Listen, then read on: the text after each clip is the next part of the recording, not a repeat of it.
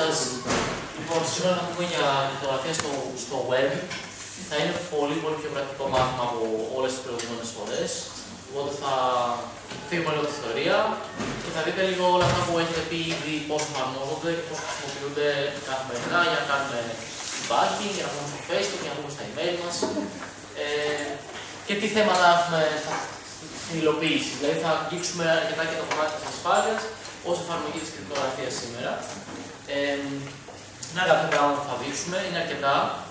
Ε, θα πούμε και αρκετά πράγματα για το πώς δουλεύει λίγο το web, γιατί θα ήθελα να σας δείξω για κάποιες επιθέσεις ε, την Τρίτη.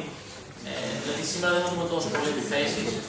Ε, θα δούμε πώς δουλεύουν τα πράγματα, ώστε να χτίσουμε αργότερα επιθέσεις και να δούμε και τι νόημα έχουν όλα αυτά που λέγαμε όπως ε, chosen plain text, chosen ε, ciphertext κλπ. Ε, δηλαδή, ε, άκουσα ας πούμε, κάποιον, κάποιον να αναρωτιούνται εντάξει τι πειράζει και αν ένα bit διαρρέσει. Θα δείτε πώς πραγματικά από ένα bit μπορούμε να φτιάξουμε μια ολόκληρη επίθεση που αποκαλύπτει πάρα πολλά πράγματα. Αλλά την επόμενη φορά, σήμερα θα χτίσουμε δηλαδή κάποια, κάποια θεμέλια σχετικά με το πώς δουλεύει το αρχή στην πράξη. Ωραία. Λοιπόν, ε, το πρώτο που θέλω να σας πω ε, είναι το μοντέλο ασφάλειας του web, πώ πώς δουλεύει το web, τι, τι υποθέσεις κάνουμε ε, όταν σχεδιάζουμε την ασφάλεια του web αυτό που λέμε συνήθως είναι ότι το web είναι διαφορετικό από τον τρόπο που δουλεύουν τα προγράμματα στον υπολογιστή μας. Στον υπολογιστή μας, ένα πρόγραμμα για να το τρέξουμε, τυπικά πρέπει να το εμπιστευόμαστε. Ε, το κατεβάζουμε από μια έμπιστη πηγή, επιβεβαιώνουμε ότι είναι όντως αυτό που είναι, αυτό που λέει ότι είναι, και στη συνέχεια το τρέχουμε. Και όταν είναι να κάνουμε την αναβάθμιση, πάλι η αναβάθμιση προκύπτει από μια έμπιστη πηγή, ε, ε, μπορούμε να την ελέγξουμε και μόνοι μας και ούτω καθεξής. Στο web αυτό είναι διαφορετικό, δεν δουλεύει αυτόν τον τρόπο. Το web αυτό που κάνουμε είναι μπαίνουμε σε οποιαδήποτε σελίδα, μπορεί να μην την ξέρουμε, την επισκεφτόμαστε, πατάμε ό,τι links να είναι. Ε. Δεν μας νοιάζει, δεν μας νοιάζει ε, να είναι έτσι στη σελίδα που θα, θα επισκεφτούμε. Ε, οπότε υπάρχει αυτή η υπόθεση ε, γενικά, όταν θα σχεδιάσουμε δηλαδή πρωτόκολλα τα οποία αφορούν ε, το web, όταν θα φτιάξουμε ένα web browser ή όταν θα μιλήσουμε για το, για το δικτυακό κομμάτι του, του browsing, θα υποθέσουμε ότι ο χρήστης, ε, ότι ο επιτιθέμενος έχει μια δύναμη να στείλεις στο χρήστη ένα email και ο χρήστη να πατήσει το link που θα, θα δει μέσα. Δηλαδή η ασφάλεια και η κρυπτογραφική που θα πρέπει να σχεδιάσουμε θα, θα υποθέτει ότι αυτό θα μπορεί να συμβεί. Ένας κακόβουλο δηλαδή έχει αυτή τη δύναμη. Έτσι. Ε, και γενικά δεν υποθέτουμε ότι ο χρήστης επιλέγει ποια link θα πατήσει και πατάει μόνο τα έπιστα. Έτσι. Ε, εντάξει, και πραγματικά αυτό ισχύει. Δηλαδή, άμα θέλω να σας κάνω να πατήσετε ένα link, μπορώ να σας στείλω ένα email, ακόμα και αν είμαι ένας άγνωστος, να ανεβάσω σε κάποιο site που διαβάζετε ε, στο facebook, στο twitter κάποιο link, να φτιάξω κάποιο domain που να φαίνεται κάπω αυτό, να αγοράσω ένα που να μοιάζει να είναι κάπως καλό και να το πατήσετε. Συμφωνούμε σε αυτό, φαίνεται, φαίνεται λογική υπόθεση. Ωραία. Τώρα, πώς γίνεται να, να μπαίνουμε σε μια σελίδα βέβαια και να προστατεύεται ο υπολογιστής μας, έτσι, να μην μπορεί ο κακόβουλος που, γράφει, που γράφει τη σελίδα να μας ε, κάνει κακά πράγματα. Ε, μια σελίδα, όπως θα ξέρετε, ίσως ε, μπορεί να τρέξει κώδικα στον υπολογιστή μας. Ποιοι το έχετε ξανακούσει αυτό; Για, για JavaScript στον, στον browser, το έχετε ακούσει; Ωραία, το ξέρουμε αυτό. Ε, η JavaScript λοιπόν είναι μια γλώσσα η οποία, αφού το ξέρω να το περάσουμε γρήγορα, ε, είναι μια γλώσσα που γράφει ο δημιουργός μια ιστοσελίδα, μας στέλνει το κώδικα μέσω του δικτύου και ο υπολογιστής μας τρέχει αυτό το κώδικα. Προφανώς, εφόσον δεν υπάρχει το μοντέλο που είπαμε, ε, αυτό σημαίνει ότι αυτός ο κώδικας είναι πολύ περιορισμένος. Έχει κάποιους περιορισμούς, γράφω κάποιους εδώ πέρα. Αυτό είναι το λεγόμενο sandboxing που έχουμε στο, στο browser. Ο κώδικας αυτός θα τρέξει σε ένα δικό του process, δεν θα έχει κάποιο API για να διαβάσει αρχεία, δεν μπορεί να χρησιμοποιήσει ελεύθερα το δίκτυο. Ε, δεν μπορεί ας πούμε, να γραφτεί drivers, να έχει κατευθείαν πρόσβαση στο hardware ή, και στο λειτουργικό ακόμα, δεν μπορεί να μας κάνει reboot, ξέρω, χίλια δύο πράγματα. Έτσι. Είναι περιορισμένο, περιορισμένο ο τρόπος που, που δουλεύει. Να σας δείξω και στο browser, ας πούμε, εδώ πέρα είναι το, το Twitter μου και άμα δούμε τη σελίδα θα δούμε ότι έχει... Α, δεν βλέπετε. λοιπόν, εδώ είναι ένα source code, ενώ μια σελίδα στο Twitter. Και βλέπετε εδώ έχει κώδικα. Ε. Αυτό είναι ο κώδικας που τρέχει αμέσως μόλις μπω στη σελίδα, τρέχει στο υπολογιστή μου. Έτσι. Οπότε δεν, ε, δεν μπορεί αυτός ο κώδικα να κάνει ελεύθερα ό,τι θέλει. Πρέπει να είναι κάπως περιορισμένος από τα πράγματα που είπαμε. Ωραία. Ε, και θέλω να σας πω και δύο λόγια σχετικά με το τι πρόσβαση έχει στο δίκτυο ο κώδικα JavaScript. Ο κώδικα JavaScript γενικά μπορεί να τρέξει πράγματα στο δίκτυο, μπορεί, ε, αλλά είναι περιορισμένα. Μπορεί να χρησιμοποιήσει μόνο το, το HTTP, που είναι το πρωτόκολλο που ανταλλάσσουμε δεδομένα για να κατεβάζουμε σελίδες. Το έχετε δει όλο το HTTP, ποιοι έχουν δει HTTP εδώ πέρα. Ωραία. Το HTTP, επειδή κάποιοι δεν το έχετε δει, ε, τι γίνεται, ο, ο browser στέλνει ένα αίτημα στον server και ο server απαντάει με την απάντηση στον, στον client που το, το αίτημα περιλαμβάνει ποια σελίδα θέλω να δω, ποια εικόνα θέλω να δω και ίσως και κάποια επιπλέον δεδομένα που θέλω να στείλω και ο server απαντάει με το Α, αυτή είναι η σελίδα, αυτά είναι τα περιεχόμενα, αυτά είναι τα bytes τη εικόνα και ούτω καθεξής. Έτσι, απλά πράγματα. Ε, και η JavaScript φυσικά, αφού του φορτώσει δηλαδή μια απλή σελίδα, η JavaScript μπορεί να πει Α, για στείλε, στέλνει άλλο ένα HTTP request και λέει στο server, ξέρεις τι, στείλε μου τα νέα δεδομένα της σελίδας, αυτό είναι το Ajax που λέμε εδώ πέρα, για να ανανεώσω, ας πούμε, αν είμαι το, το Gmail, θέλω να ανανεώσω ποια email φαίνονται στη σελίδα. Άμα έχει κάποιο καινούργιο email, να το διαβάσω. Ε, η JavaScript επίσης μπορεί να φορτώσει εικόνες από αλλού και ούτω καθεξής. Έτσι, τέτοια πράγματα. Κατανοείτε αυτά. Απλά. Έτσι. Ωραία. Ε, Επίσης, στο web υπάρχει κάτι που λέγεται HTTP cookies. Ε, τα HTTP cookies τι είναι, ε, ξέρετε πώς δουλεύουν, ποιοι ξέρουν πώς δουλεύουν τα cookies; Ωραία. Ε, να πω δύο λόγια γι' αυτό. Δεν έχει κάτι πολύ δύσκολο. Ε, η ιδέα είναι ότι στο, στο web, ε, επειδή το HTTP είναι αυτό που λέμε stateless, δηλαδή ε, ο, browser, ο, ο server δεν ξέρει αν εμείς κάνουμε δύο διαφορετικά ερωτήματα ότι είμαστε ο ίδιος, την πρώτη φορά που κάνουμε ένα ερώτημα, στην απάντηση περιλαμβάνει κάποιο ειδικό μοναδικό αλφαριθμητικό, το οποίο μετά σε όλα, σε όλα τα υπόλοιπα αιτήματα εμείς το στέλνουμε μαζί, ε, μαζί με το αίτημα, ώστε ο browser να ξέρει Α, αυτός που έκανε το, το πρώτο αίτημα τώρα έχει κάνει και τα υπόλοιπα. Άρα μπορεί να θυμάται ότι κάνουμε ας πούμε login. Ε, και στην απάντηση βέβαια όταν υπάρχουν cookies, όταν υπάρχουν cookies ε, στο request, η απάντηση μπορεί να έχει κάποια εμπιστευτικά δεδομένα. Δηλαδή μπορεί να έχει τα ιδιωτικά μας μηνύματα στο Facebook, μπορεί να έχει τα email μας κτλ. Έτσι. Ε, τώρα, άμα θέλετε να δείτε και κάποια cookies, ε, εδώ πέρα, ας πούμε στο, στο Twitter, άμα πατήσω εδώ, μπορεί να δείτε ότι υπάρχουν διάφορα, διάφορα cookies. Ας πούμε εδώ αυτό θα είναι ένα που λέει Α, remember check on. Τι σημαίνει, ε, έχει πατήσει ξέρω, το checkbox ότι θέλει να θυμάται να με θυμάσαι όταν έχω κάνει login, έτσι, remember. Οπότε εδώ θα ξαναδώ, θα, θα είναι τσεκαρισμένο. Ε, αντίστοιχα έχει και κάποια άλλα που είναι ας πούμε, το off token, δεν θα το δείξω τώρα στην κάμερα, το οποίο άμα το στείλεις θα είσαι ο Διονύσης, έτσι. Οπότε έχει κάποια σημαντικά πράγματα εδώ πέρα τα οποία είναι ιδιωτικά. Και στην απάντηση έχει ιδιωτικά πράγματα. Ε, από τη στιγμή που στέλνω cookies, δηλαδή αν εγώ εδώ απαντήσω στα μέσα σας, έχει ε, τα προσωπικά μου μηνύματα. Ωραία.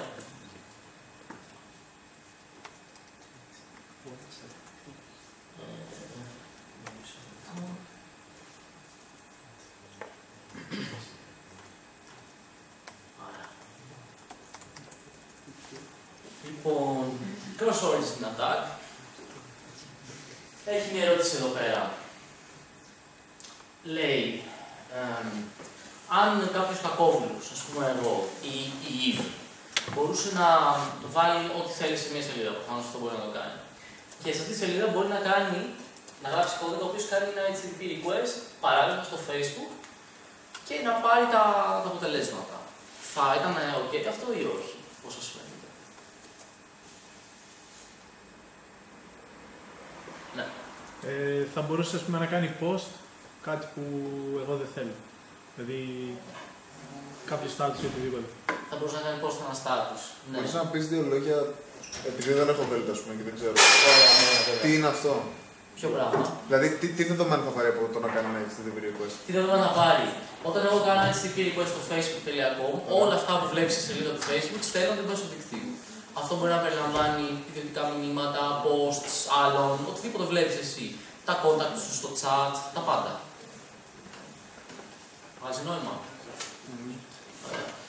Σωστό αυτό, αλλά μπορεί βέβαια να διαβάσει και ας πούμε ιδιωτικά μηνύματα, έτσι. Αυτό είναι ένα θέμα. Λοιπόν, το έχω αλλάξει εδώ σε leave. Ε, και άμα διαβάσεις τα μηνύματά σου, μπορείς να μην το καταλάβει, μπορεί να μην το καταλάβεις καν. Ε, οπότε το attack δουλεύει κάπως έτσι. Η Eve αρχικά δημιουργεί το, το evillive.com ας πούμε, μας δίνει κάπως ένα link για να μπούμε εμείς εκεί. Ε, οι άλλοι που είμαστε, είμαστε καλοί επισκεπτόμαστε το evillive.com και υπάρχει αυτή η JavaScript. Τώρα αυτό είναι ψευδοκώδικα, δεν θα ήταν έτσι ακριβώς, αλλά μοιάζει έτσι. Λοιπόν, τι γίνεται. Έχει μια συνάντηση που μπορεί να διαβάσει το βίντεο από ένα HTTP που είναι το Facebook. Παίρνει τα δεδομένα, περιμένει να ανταποκριθεί το βίντεο και μετά μπορεί να στείλει τα δεδομένα πίσω στο eBelieve και να τα περιλαμβάνει ε, εκεί που στέλνει στο, στο επόμενο request προς το κακόβουλο site. Έτσι. Βγάζει τον αυτό ο κώδικα, απλό έτσι. Οπότε αυτό είναι κάτι ανεπιθύμητο και είναι το, το cross origin attack. Αυτό δεν γίνεται στους browsers, δεν μπορεί να γίνει φυσικά. Και ο λόγος που δεν μπορεί να γίνει λέγεται same origin policy. Ε, το same origin policy είναι ένας κανόνας που είναι γραμμένος στο κώδικα κάθε browser, ο οποίος τι λέει; Κοίτα να δεις, ο κώδικας JavaScript μπορεί να κάνει ελεύθερα ό,τι request θέλει ε, προς οποιοδήποτε άλλο site, αλλά για να διαβάσει την απάντηση, για να πάρει ας πούμε σε ένα string την απάντηση του δικτύου πρέπει να είναι από το ίδιο domain.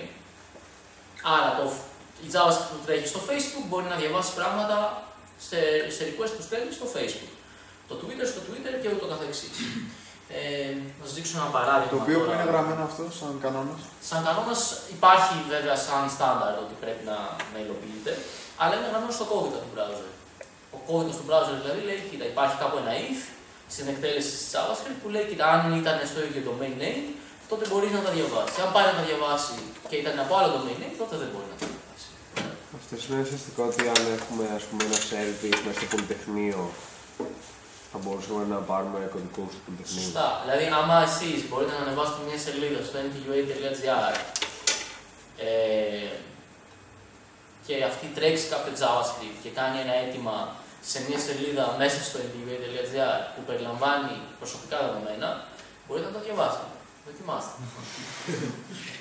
Ωραία, για να σας δείξω τώρα πώς θα αντιδράσει ο browser άμα πάμε να παραβιάσουμε το same origin policy. Λοιπόν, εδώ είμαστε στο crypto class. Στο crypto class, ε, εγώ έχω ανοίξει μια κονσόλα που θα τρέξει το JavaScript σαν να μου την είχε στείλει το ίδιο το crypto class. Εντάξει. Και θα πάω να, να πω ότι θέλω να διαβάσω το από cryptoclass.gr, θέλω να διαβάσω και να πάρω τα δεδομένα. Δεν φαίνεται, ε. Για να δούμε, μπορεί, ίσως μπορώ και λίγο καλύτερα. Α, ναι, ναι, εντάξει. Ωραία. Λοιπόν, άρα λέω κάνει ένα git request, αυτό είναι το URL και όταν λάβεις τα δεδομένα εμφάνισε τα. Εντάξει. Ε, και επειδή είναι το ίδιο ε, origin, θα μου τα εμφανίσει ελπίζω. Α, ε, δεν είναι το ίδιο, ε, γιατί δεν έχω δει. Ε, αυτό είναι θέμα τώρα. Για να δούμε αν μπορούμε να το φτιάξουμε.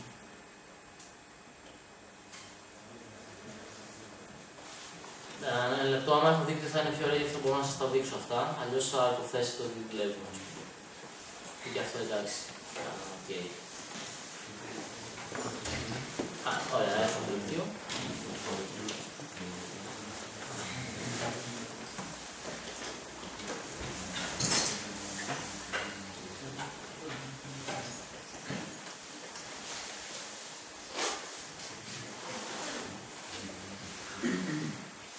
Μμμ.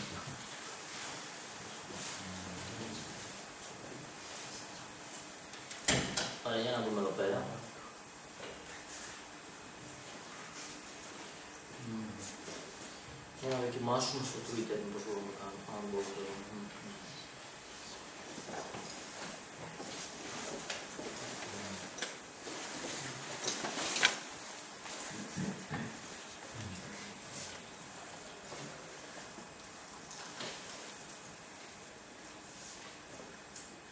Ωραία, βλέπετε. Έχω τρέξει αυτό το πράγμα από το ίδιο domain στο ίδιο domain και έχω πάρει το αποτέλεσμα εδώ, το οποίο έχει κάποιο κώδικα και έχει και όντως αυτά που φαίνονται στη σελίδα. Λογικό γιατί τρέχω στο ίδιο, στο ίδιο domain, έτσι. Τώρα θα προσπαθήσω να κάνω ένα cross origin, δηλαδή από Το το... γράψει function χ τι είναι. Αυτό τι σημαίνει, σημαίνει. Αυτό είναι ένα callback. Όταν, όταν τελειώσει αυτό εδώ, τρέξει αυτό εδώ. Δεν είναι κάτι περίεργο. Το πούμε λίγο πιο αναλυτικά. Τι λέει, τι λέει, όχι. Α, δεν τι είναι λέει, καταλαβαίνω τι λέει function παρένθεση χ κλείνει παρένθεση, ανοίγει αγγίλη, console.log, ανοίγει παρένθεση χ, κλείνει παρένθεση, κλείνει αγγίλη και κλείνει και αυτή η παρένθεση. Τι σημαίνει console log. Console log είναι πριν. Γραφικός όλο. Α, εντάξει, εντάξει. Ναι, εντάξει.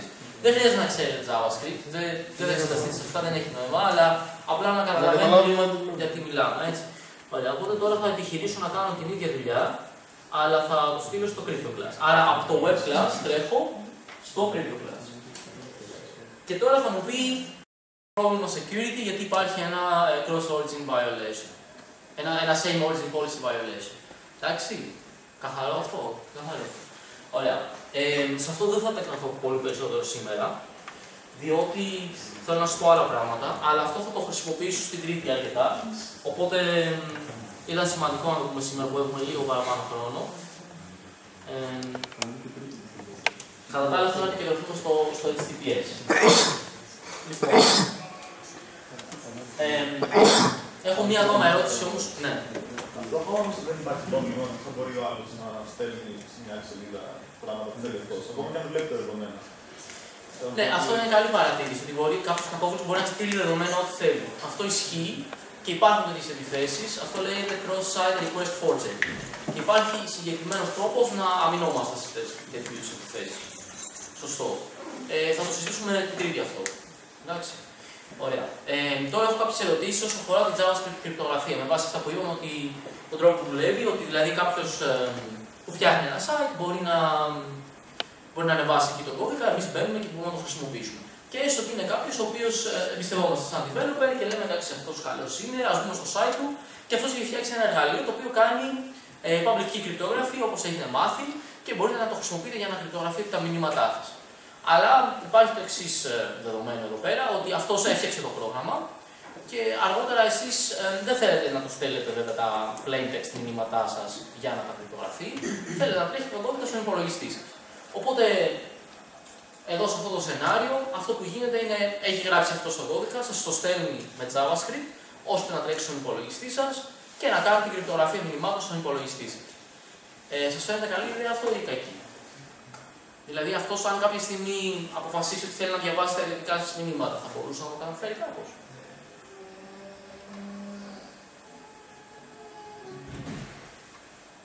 Άμα κάνουμε εμείς την κρυπτογραφία στην υπολογιστή μας, αυτός δεν μπορεί να δει το μήνυμά μα. Σωστό είναι αυτό, δεν μπορεί, αλλά πώς θα, πώς θα μπορούσε να κάνει μια επίθεση ώστε να το δει; Γιατί Στον συνηθίζω κώδικα, ότι του είναι. που, μα- στον κώδικα του που μας στέλνει να, να βάλει κάτι. Μπράβο, ακριβώς. Μπορεί να αλλάξει δηλαδή τον κώδικα που σας στέλνει και να στείλει κάτι άλλο. Και βέβαια. μ, Αυτό που είπε ο συνάδελφος. Ναι. Και βέβαια το, το σημαντικό είναι ότι. Ναι. Ε, εκτός αυτού, άνοιγμα ε, ας πούμε, ανάμεσα στον, σε αυτόν που γράφει τη βιβλιοθήκη Το- και στο... το- Τώρα το δούμε λιγάκι αυτό. Οκ. ε, αργότερα, έτσι. Ε, ωραία. Ε, οπότε υπάρχει αυτό το θέμα. Ότι αυτός που έχει φτιάξει το site μπορεί να αλλάξει το κώδικα του. Ε, Εκτός αυτού, ε, ενδεχομένως να μπορεί να κάποιος να τον αναγκάσει να αλλάξει το κώδικα του. Δηλαδή, αν δουν ότι α, χρησιμοποιείται πολύ αυτός ο κώδικας, μπορεί να υπάρξει μια παρέμβαση ας πούμε, νομική από την NSA και να πει: Κοίτα να δεις, πρέπει να βλέπουμε αυτά τα μηνύματα γιατί υπάρχει τρομοκρατία. Οπότε αλλάζουμε τον κώδικα και σε αναγκάζουμε να το κάνει αυτό με ένα μυστικό ένταλμα που δεν πρέπει να το δημοσιεύσεις. Φερρυπίν. Οπότε ξαφνικά όλα τα μηνύματα γίνονται. Ε, παραβιάζονται, εντάξει. Ε, Αυτός είναι ο λόγος που το JavaScript cryptography θεωρείται μ, προβληματικό όταν τρέχει απλά στον browser. Οπότε θέλω να σα να σας το αναφέρω αυτό να το ξέρετε. Σαν υλοποίηση δηλαδή πρέπει να γίνεται είτε σε κάποιο browser extension είτε σαν πρόγραμμα στον υπολογιστή. Ωραία. Εφεύγοντας από αυτά τώρα, σιγά σιγά να μπούμε σε δικτυακά θέματα και στο HTTPS που είναι ουσιαστικά πραγματική εφαρμογή της κρυπτογραφίας. Έχουμε εδώ μια ιστορία με την Alice. Η Alice πάει σε μια καφετέρια, συνδέεται στο, στο Wi-Fi του, της καφετέριας, μπαίνει στο, στην τράπεζα Πυραιός και κάποια στιγμή βλέπει ότι τα λεφτά της έχουν εξαφανιστεί αργότερα. Θα μπορούσε να γίνει αυτό το σενάριο, πώς σας φαίνεται, σας φαίνεται αληθοφανές; Ναι. Ναι, ανάλογα τι, τι ασφάλεια έχει κάθε σελίδα που μπαίνει. ας πούμε. Τι ασφάλεια έχει κάθε σελίδα που μπαίνει. Ε, εντάξει, ας πούμε ότι μπαίνεις στην Πυραιός. Τι εννοείς την ασφάλεια; Θα κάνεις- Γενικά αυτό που θέλω να πω είναι πολλές φορές, βασικά αυτό που μάλλον πας να πεις εσύ, η διαφορά του HTTP με το HTTPS. Μμμ. Δεν ξέρω αν αυτό είναι αφορά. Ναι, Αλλά αφορά. ξέρω ας πούμε ότι είτε πρέπει να, να, να καλύπτες, ξέρω εγώ, να, έχει, να έχουν HTTPS σελίδες που μπαίνεις, ή να χρησιμοποιείς κάποιο VPN, γενικά όταν ε, μπαίνεις στο public Wi-Fi. OK, Αλλά δεν ξέρω όλες τις σωστές- λεπτομέρειες. Σωστές παρατηρήσεις αυτές. Ναι. Άλλες ιδέες. Ε, άμα κάποιος που είναι στο ίδιο δίκτυο στην καφετέρια ε, σνιφάρει, θα κάνει packet sniffing, θα δει όλα τα έτσι, άμα είναι σε HTTP απλό, θα δει όλα το plain text μέσα από το δικό του. Μπράβο. Σωστό, σωστό. Αυτό. Ναι, αυτό που λέει ο συνάδελφος είναι σωστό, ναι. Σε ενδιαφέρει μόνο να μπορεί να, να δεις τι έχει και να μην τα έχει καθόλου. Γιατί ας πούμε, άμα πάρει ότι έχουμε στείλει, ενδεχομένως να μπορεί να συνεχίσει μετά ως εμείς χωρίς να ξέρει να έχει καταλάβει τι γράφουμε. Καλή παρατήρηση και αυτή. Ναι, σωστό είναι αυτό. Ε, αυτά μας ενδιαφέρουν όλα στην εκθέση. Δηλαδή, ο συνάδελφος Δηλαδή, λέει. σαν, Ναι. σαν να έχει κάποιο cookie, ας πούμε, κάτι τέτοιο. Ναι, αν έχει κάποιο cookie, λέει ο συνάδελφος, αν έχει κάποιο cookie και είναι κρυπτογραφημένο και εμείς κλέψουμε το, υπογρα- το κρυπτογραφημένο, αλλά μετά το στείλουμε το κρυπτογραφημένο χωρίς να μπορούμε να το κρυπτογραφήσουμε, ίσως μπορεί να μας δώσει πρόσβαση. Σωστή παρατήρηση, όλα αυτά καλά. Ε, οπότε θα δούμε τώρα αν συμβαίνει όντως αυτό ή όχι. Ε, τώρα υπάρχει αυτή η επιπλέον υπόθεση. Σας είπα για το μοντέλο του web τι υποθέτουμε όσο αφορά την ασφάλεια, δηλαδή ότι ο χρήστης θα πατήσει ό,τι του στείλουμε. Η δεύτερη υπόθεση που κάνουμε είναι ότι το δίκτυο γενικά είναι ανασφαλές. Όταν σχεδιάζουμε δηλαδή πρωτόκολλα πάνω σε δίκτυα ή ιστοσελίδες ή browsers, ε, υποθέτουμε ότι το δίκτυο ελέγχεται από κάποιον αντίπαλο. Ε, αυτό σημαίνει τι, ότι ο αντίπαλος μπορεί να διαβάζει τι δεδομένα περνάνε και μπορεί επίσης να γράφει δεδομένα στο δίκτυο ή να ε, διαγράφει δεδομένα ε, που περνάνε στο δίκτυο. Γράφουμε εδώ πέρα. Ε, βέβαια θα ξέρετε ενδεχομένως ότι σε μεγάλες εταιρείες, για παράδειγμα, το δίκτυο είναι ελεγχόμενο από την εταιρεία, είναι πολύ ασφαλέ κλπ. Αλλά η ιδέα μοιάζει λίγο με την, ε, με την υπόθεση του Κέρκοφ, που έχουμε ξαναπεί έτσι από τα πρώτα μαθήματα, ότι αν σχεδιάσουμε ένα πρωτόκολλο αρκετά καλό ώστε να δουλεύει ακόμα και αν το δίκτυο είναι ασφαλές, στη συγκεκριμένη περίπτωση, ε, είμαστε καλά και στην περίπτωση που το δίκτυο είναι ασφαλές. Οπότε υπάρχει αυτή η υπόθεση και άρα θα πρέπει ας πούμε, η ασφάλεια του δικτύου μας να δουλεύει ακόμα και αν πάω στο Starbucks και συνεχώ σε ένα δίκτυο που δεν το ξέρω καν. Ωραία. Ε, Κάποιες ιδέες για το πώς μπορεί ένα δίκτυο να είναι όντως ανασφαλές. Ε, μπορεί να είναι κάποιος υπάλληλος ο οποίος έχει πρόσβαση στο δίκτυό σας. Μπορεί να είναι ένας υπάλληλος της Fortnite, ας πούμε. Μπορεί η αστυνομία να δώσει κάποιο, κάποιο ένταλμα που να λέει Θέλω να έχω πρόσβαση στο δίκτυο, το οποίο συμβαίνει στην πράξη. Ε, ας πούμε, μπορεί να δώσει ένα ένταλμα στη Fortnite και να πει ότι τα δεδομένα του τάδε χρήστη τα θέλω ή τα δεδομένα όλων των χρηστών τα θέλω για αυτές τις μέρες. Ε, ή μπορεί κάποιος να, να ελέγχει το Wi-Fi στο οποίο συνδέεται. Δηλαδή να φτιάξει όντως ένα hotspot, να δείτε εσείς free internet, να μπείτε και να είναι κακόβουλο. Ε, Άλλες ιδέες για το πώς μπορεί κάποιος να ελέγξει το δίκτυο εκτός από αυτά. Είπαμε και την περίπτωση των Starbucks. Ε, αυτά είπαμε. Ε, το Rogue Wi-Fi είναι μια ωραία επίθεση. Ναι. Μπορεί να αναγκάσει την κίνηση να πάει μέσα από συγκεκριμένο διακομιστή. Παράδειγμα, η ΟΤΕ με άλλες εταιρείες στην Ελλάδα δεν έχει link εντός Ελλάδας που πηγαίνουν από Φραγκφούρτη. Και μπορεί να υπάρχει κάποιος άλλος σερβερ σε άλλη χώρα κιόλας να Ναι. κάνει sniffing. Σωστό και αυτό. Μια άλλη επίθεση είναι το Rogue Wi-Fi. Το Rogue Wi-Fi λέει ότι πάω σε ένα γνωστό Wi-Fi hotspot που είναι ανοιχτό και στείνω δίπλα στο κανονικό ένα δικό μου με το ίδιο όνομα και το ίδιο password ή, ή ανοιχτό χωρίς password. Φτιάχνω ένα πανομοιότυπο login screen, οι χρήστες συνδέονται στο δικό μου. Ή ακόμα καλύτερα, αν υπάρχει κάποιο Starbucks στο, στο οποίο το δίκτυο λέει ας πούμε Fortnite, Net Faster κλπ. Εγώ φτιάχνω ένα που λέγεται Starbucks. Την παίρνω όλο στο δικό μου. Ε, και έτσι μπορώ να ελέγχω το δίκτυο. Δεν είναι πολύ δύσκολο. Δηλαδή, άρα αυτή η υπόθεση είναι αρκετά, αρκετά ε, ρεαλιστική. Ωραία. Λοιπόν, τώρα θέλω να συζητήσουμε το πώς μπορεί να στέλνει δεδομένα στο δίκτυο ένας επιτυχημένος πέρα από το να διαβάζει. Διότι ε, σε περίπτωση που συνδεθούμε απλά στο ίδιο δίκτυο και οι δύο και είναι ακριτογράφητο, μπορώ απλά να δω που περνάει στον αέρα. Ε, δεν μπορώ όμως απαραίτητα να γράψω ε, δεδομένα. Οπότε θα σας δείξω μια τέτοια μέθοδο ε, δικτυακή. Λοιπόν, γνωρίζετε εδώ για routing. Ποιοι έχουν ξαναδεί routing σε, σε δίκτυα ενδεχομένω. Ωραία, αρκετοί, οπότε για όσους δεν το έχετε δει, θα σας το περάσω λίγο γρήγορα. Ε, το routing τι σημαίνει; Ε, ο υπολογιστής μας, όταν συνδέεται σε ένα δίκτυο, υπάρχει κάπου στο δίκτυο ένα router. Από αυτό το router πρέπει να περάσουν όλα τα δεδομένα μας για να φτάσουν τελικά στο προορισμό μας. Για να το κάνει αυτό ο υπολογιστής μας, έχει ένα routing table, το οποίο το έχω εδώ πέρα.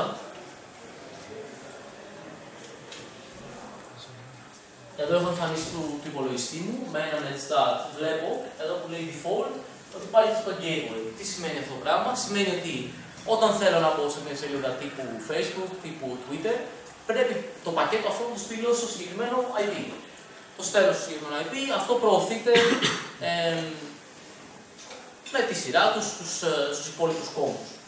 Έτσι. Οπότε αυτό είναι ένα σημαντικό κομμάτι γιατί το router μπορεί πράγματι να βλέπει όλα τα δεδομένα μας. Ή όποιος προσποιείται ενδεχομένως ότι είναι router.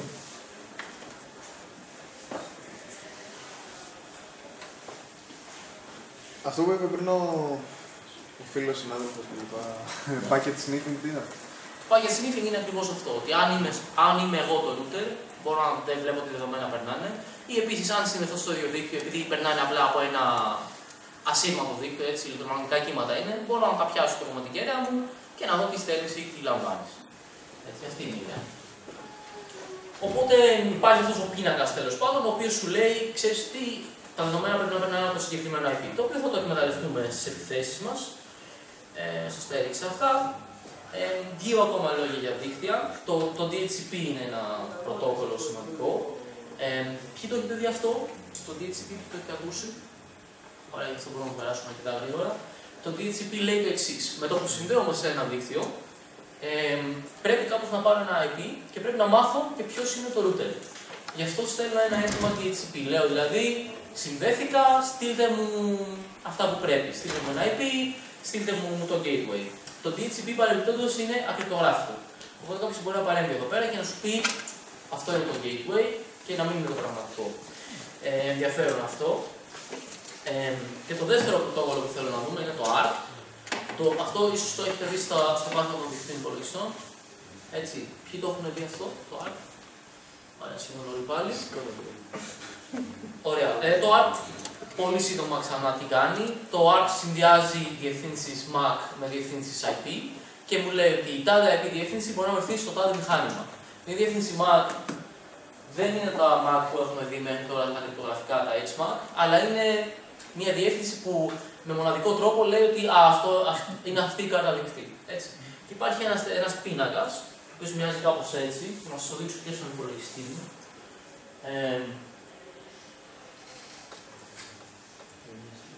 εδώ υπάρχουν αντιστοιχίες που μου λέει ότι το τάδε IP αντιστοιχεί σε αυτή τη MAC address, το τάδε IP αντιστοιχεί σε αυτή τη MAC address.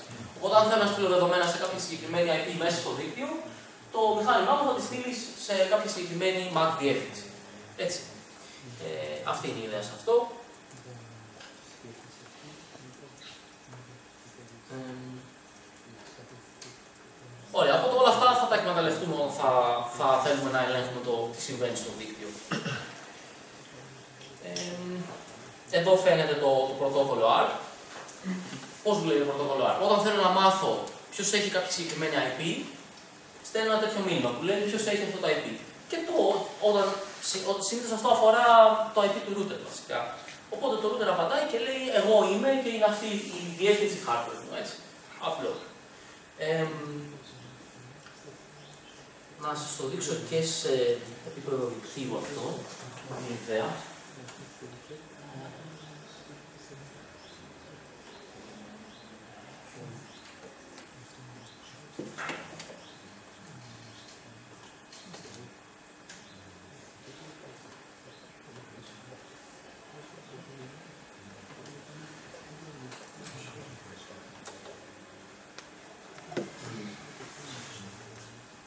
Λοιπόν, εδώ έχω καταγράψει κάποια, κάποια δεδομένα που περνάνε στο δίκτυο με το πρόγραμμα αυτό το, το Wireshark και βλέπω ότι υπάρχει,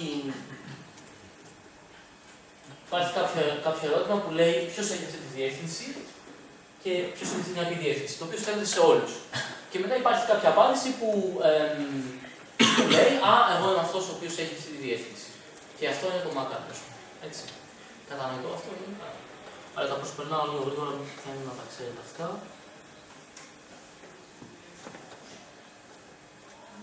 Ωραία.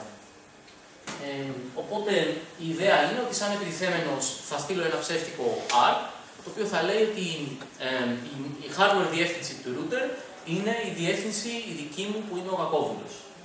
Αυτό λοιπόν είναι το, το αρχικό ε, routing table του θύματος, έχει εδώ τη διεύθυνση του router και έχει και ένα ARC πίνακα πάνω που λέει ότι η τάδε IP διεύθυνση αντιστοιχεί στην τάδε MAC διεύθυνση.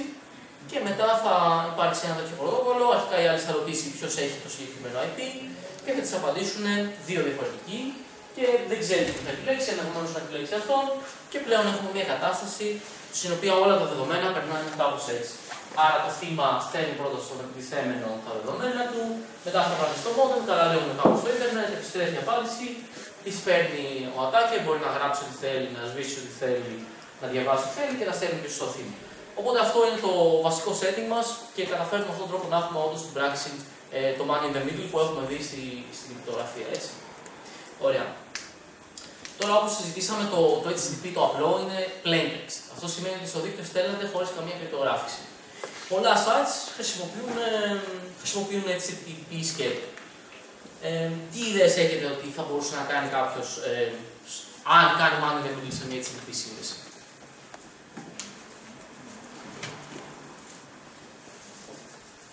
Δηλαδή, στείλει αυτό το, το app spoofing που δείξαμε, μπαίνω εγώ σε ένα HTTP website, τι μπορεί να καταφέρει, κάτι κακό. Να πάρει τα credentials, το password και το username για ένα site. Ναι, username και password. Άλλες ιδέες. Ναι. Να πάρει τα cookies, να διαβάσει τα μηνύματά μας, να αλλάξει τα μηνύματά μας και δεν ξέρω να λέει θα βρεθούμε πέντε πλατεία, να βάλει θα βρεθούμε τέσσερις πλατεία. Ναι. Ωραία, άλλες ιδέες. Ναι. Τα στοιχεία της κάρτας. Ιστορικές κάρτες. Ναι. θα μπορούσε πέρα από το να διαβάσει δεδομένα, ε, θα μπορούσε να γράψει κάτι το οποίο θα κοστίσει λεφτά. Θα γράψει κάτι στο δίκτυο που θα κοστίσει λεφτά. Να αλλάξει κάποια δεδομένα δηλαδή που θα προκαλέσει να στείλω εγώ λεφτά κάπου. Άμα είναι σε κάποιο e-shop, ξέρω εγώ, να παραγγείλει κάτι, να βάλει διεύθυνση του. Ή σε τράπεζα να μεταφέρει Ναι, να λεφτά μπορούσε. λογαριασμό του. Ναι, θα μπορούσε. Ναι.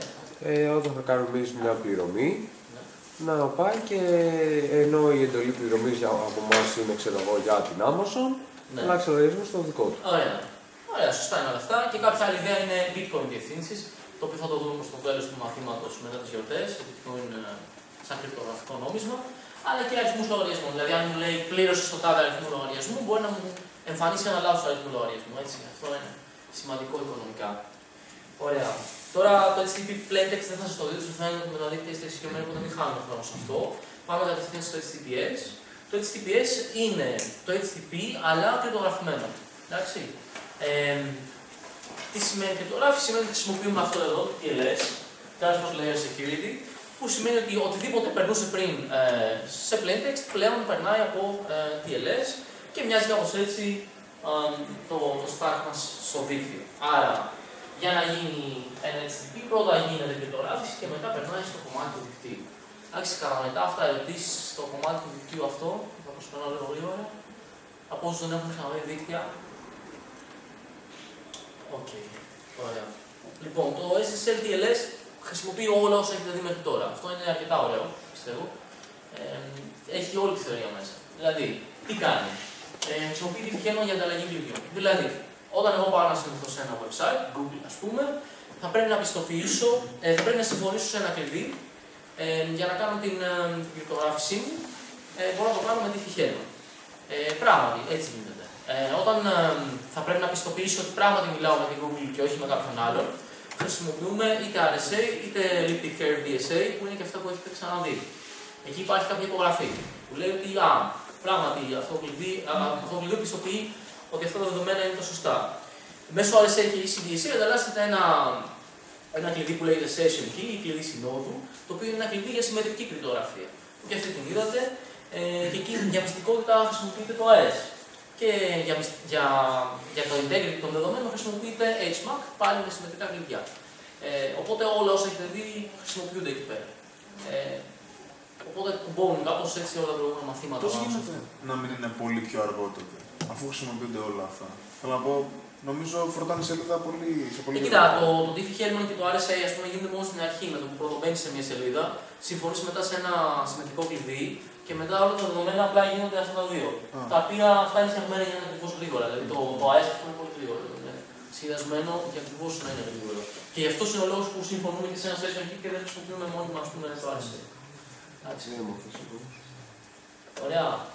Ε, Σαφές το πώς εννοούνται όλα έτσι.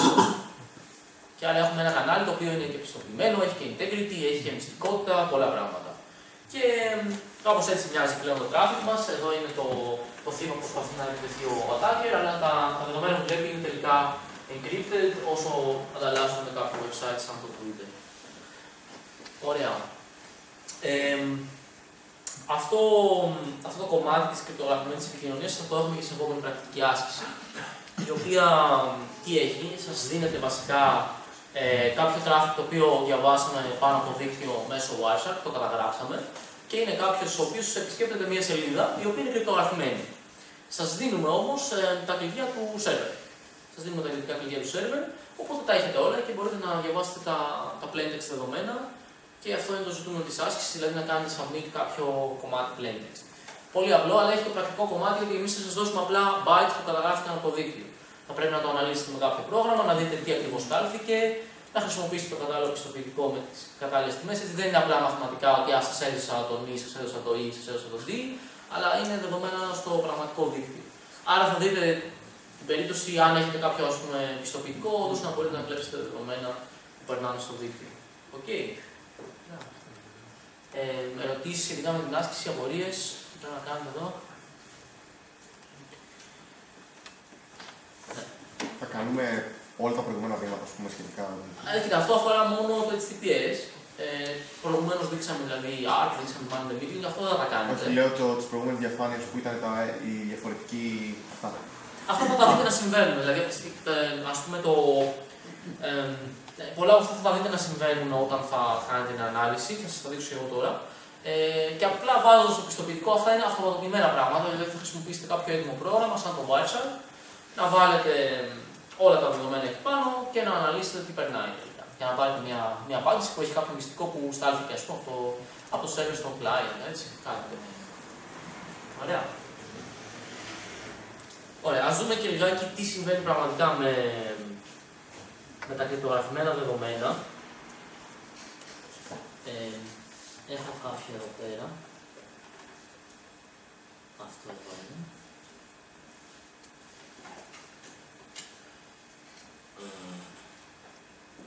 Λοιπόν, εδώ έχω καταγράψει κάποια δεδομένα παρόμοια με την άσκηση που έχετε να κάνετε. Και βλέπετε ότι περνάνε δεδομένα εδώ πέρα. Ε, να δούμε. Βλέπετε ότι έχω καταγράψει δεδομένα τα οποία λένε ότι είναι HTTPS. Και πριν ξεκινήσει πραγματικά η ανταλλαγή, α, ας δούμε λίγο την ανταλλαγή των δεδομένων, λέει application data.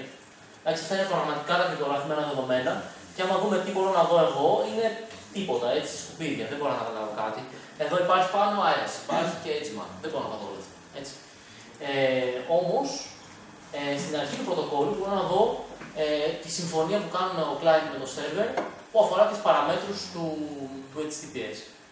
Άρα, αν αναλύσω εδώ πέρα, ε, δω το πρώτο πακέτο δηλαδή που περνάει, μας λέει ο client τι είδους ε, κρυπτογράφηση υποστηρίζει, προτείνει στο server διάφορους συνδυασμούς, ας πούμε, για α, κρυπτογραφικού αλγορίθμους και κάποια στιγμή ο, ο, ο server θα απαντήσει και θα του πει Α, επιλέγω το τάδε πρωτόκολλο να χρησιμοποιήσουμε. Ε, που στη συγκεκριμένη περίπτωση, για να δούμε ποιο είναι. Ναι, είναι SSL, αλλά θα μας πει και ακριβώς πιο...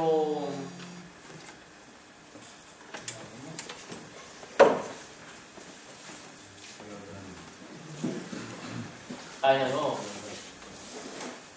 Όχι.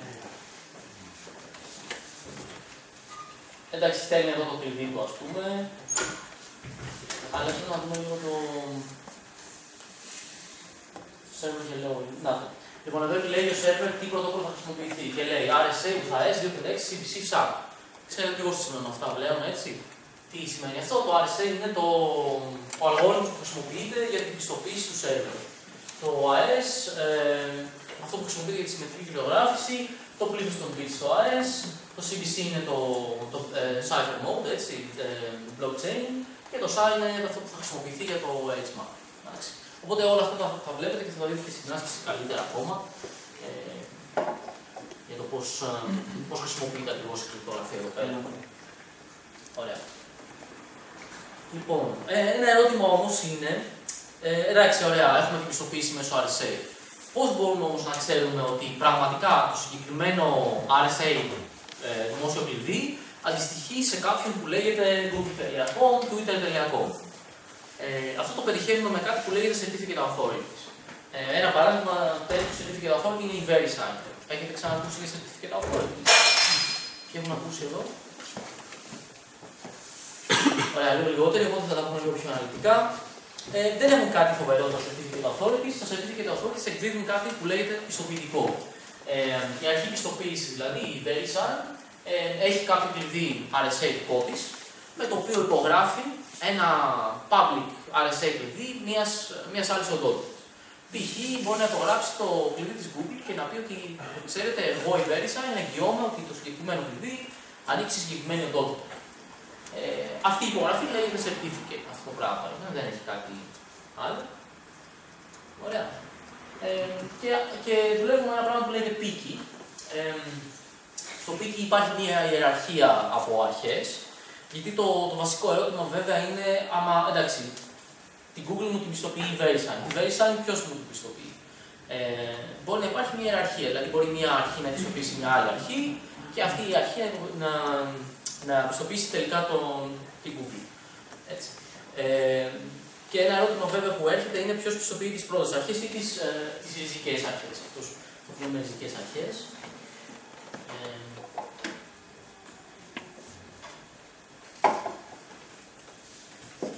λοιπόν, να σας δείξω πρώτα κάποια παραδείγματα πιστοποιητικών.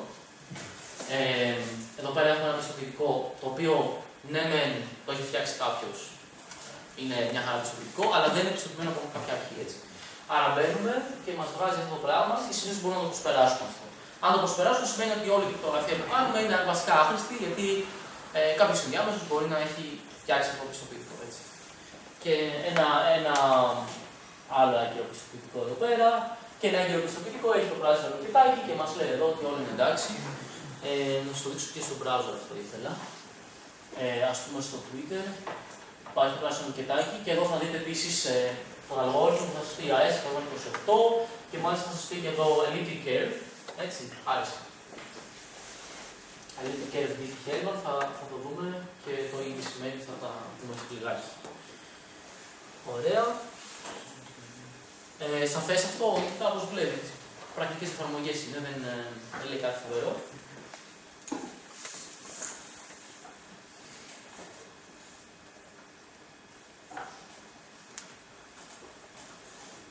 Ωραία.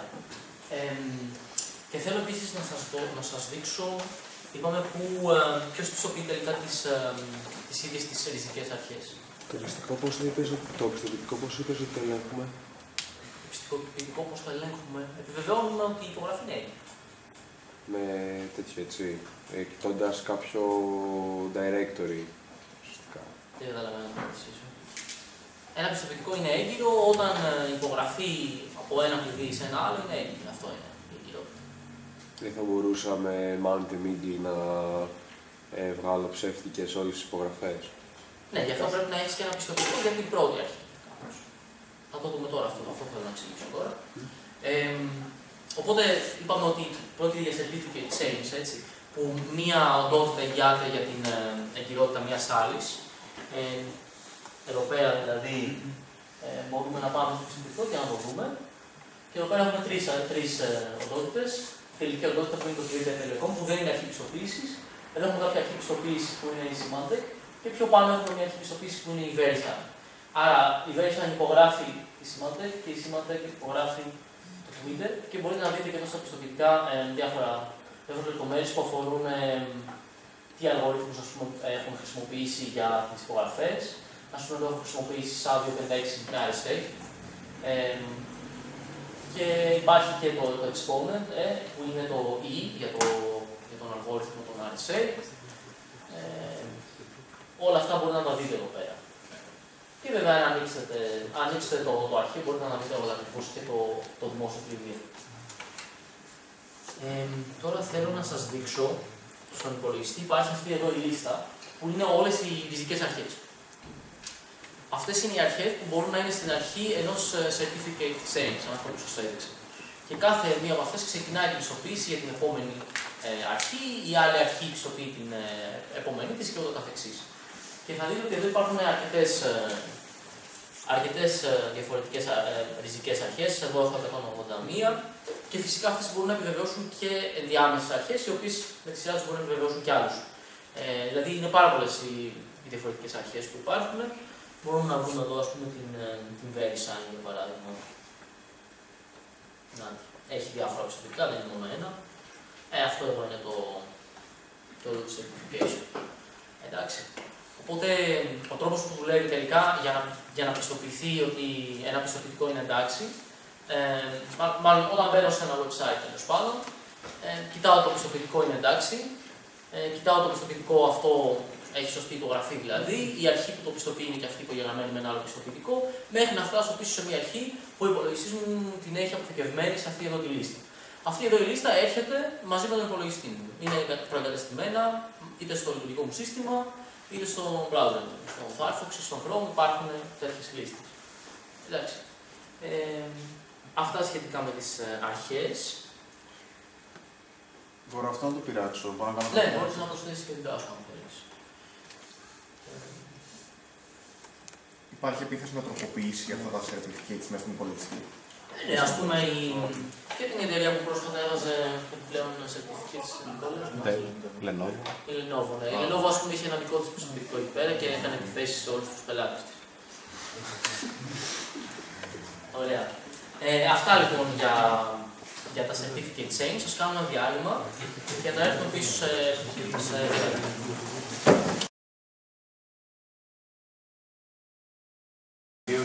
Άρα συνεχίσουμε να πούμε και πράγματα ακόμα. Ε, είδαμε ότι υπάρχουν οι αρχές πιστοποίησης οι οποίες πιστοποιούν την ταυτότητα κάποιου που έχει ένα ε, ιδιωτικό κλειδί ε, και πιστοποιούν ε, ουσιαστικά ε, τον ιδιοκτήτη ε, ε, κάποιου, κάποιου ιδιωτικού κλειδιού για το οποίο δημοσιεύουν το δημόσιο κλειδί και την- κάποια ιδιότητά τους. Ποια είναι αυτή τώρα η ιδιότητα. Η αρχή πιστοποίησης γενικά δεν, δεν πιστοποιεί κάποια ιδιότητα τύπου είναι φερέγγιος, είναι έμπιστος, έχει αυ- αυτό το πραγματικό όνομα ή έχει ας πούμε νομική υπόσταση. Ε, στο HTTPS αυτό που συμβαίνει, στο πίκι, είναι η πιστοποίηση αφορά μόνο την ιδιοκτησία ενός domain name. Αυτό λέγεται και common name. Ε, άρα ένα πιστοποιητικό λέει ότι το συγκεκριμένο domain name, google.com, ανήκει σε κάποιον ο οποίος ελέγχει το συγκεκριμένο ε, ελέγχει κάποιο ιδιωτικό κλειδί που αντιστοιχεί στο συγκεκριμένο δημόσιο κλειδί. Δηλαδή, το πιστοποιητικό αφορά ε, μία σύνδεση σύνδεση ενός domain name με ένα public key. Αυτό είναι όλο. Ε, έτσι. Οπότε δεν υπάρχει κάτι πλέον που να μας λέει ότι είναι έμπιστη.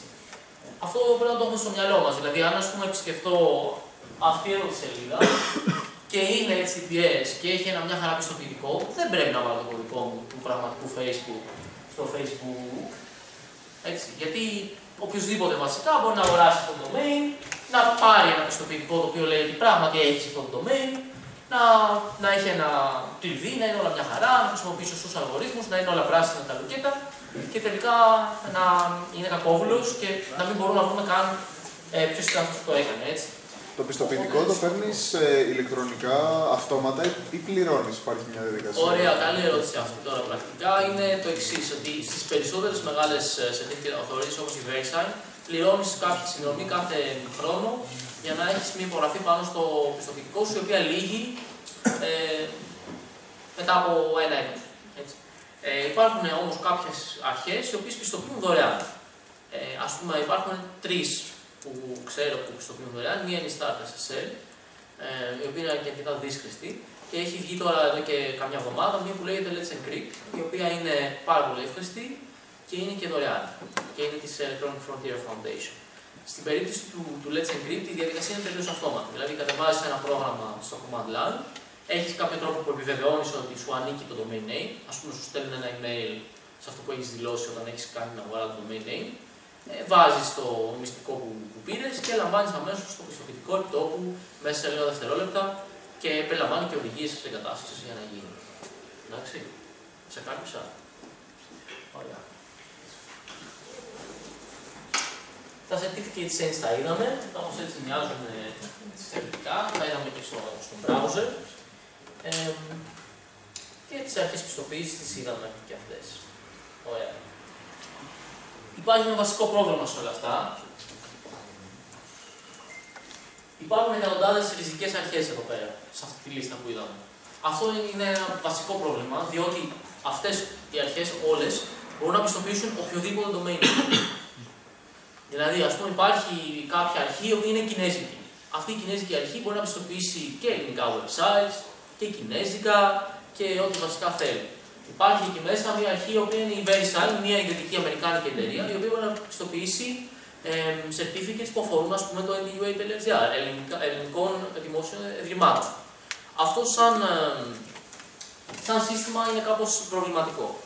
Ένα από τα προβλήματα είναι ότι αυτές οι αρχές λειτουργούν μέσα σε κράτη τα οποία έχουν κάποια νομοθεσία, την οποία πρέπει να, τις, πρέπει να την τηρήσουν. Ε, όταν μιλάμε για χώρες, για παράδειγμα, όπως η Κίνα ή η Ρωσία ή οι Ηνωμένες Πολιτείες, που έχουν κάποια νομοθεσία η οποία επιτρέπει ενδεχομένως παρακολουθήσεις και μυστικές υπηρεσίες, μυστικά εντάγματα, μυστικούς νόμους ε, και ούτω καθεξής, αυτό σημαίνει ότι δεν μπορούμε να ξέρουμε τελικά αν, ε, αν τα πιστοποιητικά που βλέπουμε ε, είναι τελικά όντως αυτά που λένε. Έτσι. Δηλαδή, πράγματι, ας πούμε, η NSA ή το FBI, αν επιθυμεί, μπορεί να παράξει ένα πιστοποιητικό για το NTUA.gr, να μπει στο δίκτυό μας, να παραβιάσει την κίνηση πλήρως και όλα να φέρουν μια χαρά, παρόλο που το πιστοποιητικό έχει αλλάξει. Αυτό είναι ένα βασικό πρόβλημα και, και εκτός αυτού, βέβαια, ε, κάποιος ο οποίος έχει αρκετά λεφτά και μπορεί να φτιάξει μια εταιρεία η οποία είναι μια εταιρεία, εταιρεία πιστοποίηση. Το συζητούσαμε και στο διάλειμμα αυτό. Ε, μια εταιρεία τέτοια πιστοποίηση μπορεί να μπει σε αυτή τη λίστα αν ικανοποιεί κάποιες προδιαγραφές ασφάλειας και έχει υπογράψει πούμε, κάποια συμβόλαια και τελικά να μπορεί να πιστοποιήσει όποιον θέλει. Και βέβαια εντάξει, θα παραβιάσει συμφωνίε, τελικά θα διαγραφεί, αλλά εντωμεταξύ θα έχει γίνει μια ζημιά. Και πράγματι έχουμε δει τέτοια περιστατικά στην πράξη. Παράδειγμα, υπήρξε ένα περιστατικό του. ποιο ήταν, ε, υπήρξε ένα περιστατικό πριν μερικά χρόνια που μια Ολλανδική Certificate Authority ήταν καλόβουλη μεν, αλλά δεν είχε αρκετά καλή ασφάλεια. Οπότε κάποιος παραβίασε την ασφάλεια της Certificate Authority και ξεκίνησε να βάζει προσωπικά για Google, Gmail κλπ. Ε, και ή έκανε μάλλον την στο τράφικο όντω. Ε, μια, ε, ένας, ε, νομίζω ήταν Ιρακινή επίθεση, δεν είμαι σίγουρος. Ε, και τελικά τον βρήκανε, ας πούμε, αλλά εντωμεταξύ κάποια δεδομένα είχαν περάσει που είχαν, ε, φαινόταν όλα μια χαρά και ήταν με ένα λάθος πιστοποιητικό.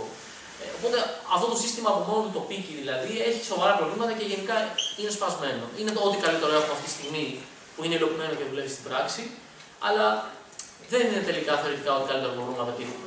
Ε, το τι θα μπορούμε να πετύχουμε χωρίς τελικά κεντρικές αρχές καθόλου, θα το δούμε στα μαθήματα προς το τέλος που αφορούν ε, Bitcoin και Nailcoin. Το Nailcoin είναι μια λύση η οποία πετυχαίνει πραγματικά τις ιδιότητες του πίκη χωρίς καμία κεντρική αρχή και χωρίς χρεώσεις. Ε, οπότε αυτό είναι, είναι κάτι, ένα από τα επιτεύγματα της κρυπτογραφίας, αλλά είναι και ερευνητικό ακόμα, δεν έχει φτιαχτεί στην πράξη να, να δουλεύει.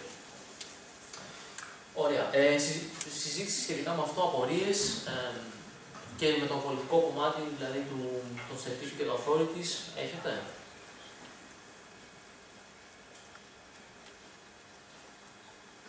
OK. Okay. Ναι. Ε, Ποιος ο λόγος που θα μπορούσε να κυμαίνονται οι τιμές στα πιστοποιητικά, Δηλαδή ότι εμπιστεύουν περισσότερο μια εταιρεία. Κανένα. Κανένα δεν είναι, είναι τελείως marketing κοροϊδία. Ε, γιατί όλα τα πιστοποιητικά είναι ίσα βασικά. Αυτό δεν κάνει. Ε, οπότε, βασικά είτε εμπιστεύεσαι σε μια εταιρεία είτε όχι, δεν έχει να κάνει. Γιατί αυτή που εμπιστεύεσαι λιγότερο, αυτή άμα έχει κάποιο πρόβλημα, αυτή μπορεί πάλι να δώσει ένα πιστοποιητικό για το domain σου. Ε. Οπότε το να πας στη VeriSign, ας πούμε, που υποτίθεται έχει καλή ασφάλεια, δεν σε προστατεύει από την κακή ασφάλεια μιας άλλης, γιατί όλες μπορούν να επιβεβαιώσουν όλα. Και μάλιστα όλες οι ενδιάμεσες μπορούν να επιβεβαιώσουν όλα τα domain names. Είναι και αυτό μια παρατήρηση. Ναι. Δηλαδή, πολλά domain names είναι σε κάποιες εταιρείες είναι σε όλες. Δεν είναι κάθε ένας. Όχι, κάθε ένα είναι σε κάποια εταιρεία. Αλλά μία άλλη εταιρεία, αν παράξει ένα πιστοποιητικό για ένα domain για το οποίο υπάρχει ήδη ένα πιστοποιητικό, και το νέο πιστοποιητικό θα είναι έγκυρο. Και θα μπορεί να χρησιμοποιηθεί για κάποιους σκοπούς. Οπότε, ξέρω εγώ, οι μισοί που θα μπαίνουν, θα μπαίνουν από αυτό το πιστοποιητικό και άλλοι μισοί θα χρησιμοποιούν το άλλο. Ναι, ναι, κάπως έτσι. Πώς δηλαδή, θα διαγωνισμό, ανάλογα τι έχω στον υπολογιστή μου. Πώς θα μπορούσε να γίνει. Στον υπολογιστή σου έχεις κάποιες ριζικές αρχές οι οποίες είναι οι κλασικές. Α πούμε ότι υπάρχει. Ε, Α πούμε για την ε, DigiNotar που ήταν το περιστατικό στην, ε, στην Ολλανδία. Έτσι.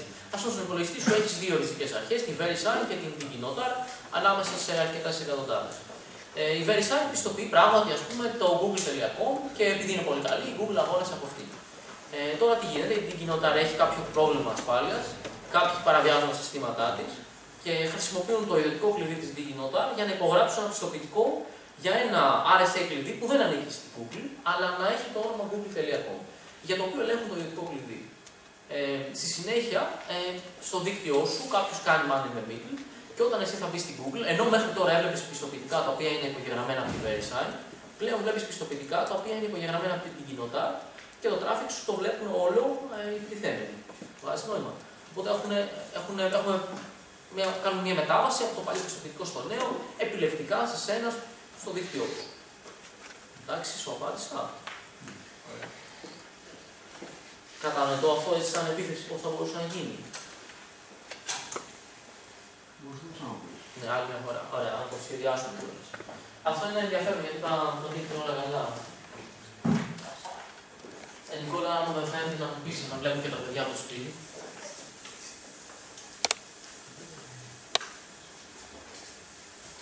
Ε, ας πούμε εδώ πέρα έχουμε τώρα έναν, ε, ένα καλό client, την άλλη, που επισκέπτεται ε, ένα καλό server την Google. Συνδέεται εδώ πέρα και ε, η Google επιστρέφει κάποιο public key της Google και ένα πιστοποιητικό certificate της Google. Και αυτό εδώ το έχει φτιάξει η VeriSign. Όταν δεν υπάρχει VeriSign, γιατί έχει υπογράψει αυτό. Επικοινωνούν μια χαρά για κάποια χρόνια. Κάποια στιγμή, κάποια άλλη, κα, ε, κάποια άλλη certificate authority, DigiNotar, είναι εδώ πέρα,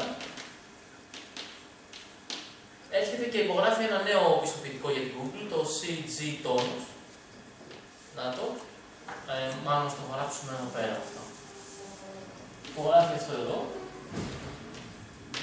το οποίο χρησιμοποιείται για μια επικοινωνία πάλι με τον ε, από ένα κακόβουλο.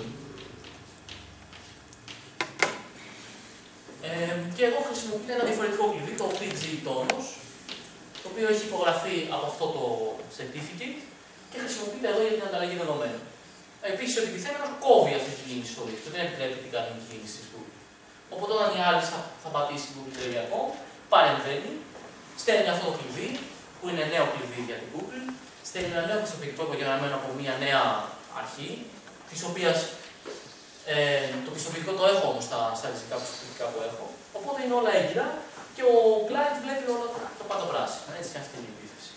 Βάζει νόημα. Mm. Άρα αυτό εδώ θα τρέξει για δύο χρόνια και μετά ξαφνικά ε, ο κακόβουλος μπορεί να διαβάσει τα email κάποιου, ε, κάποιου καλού.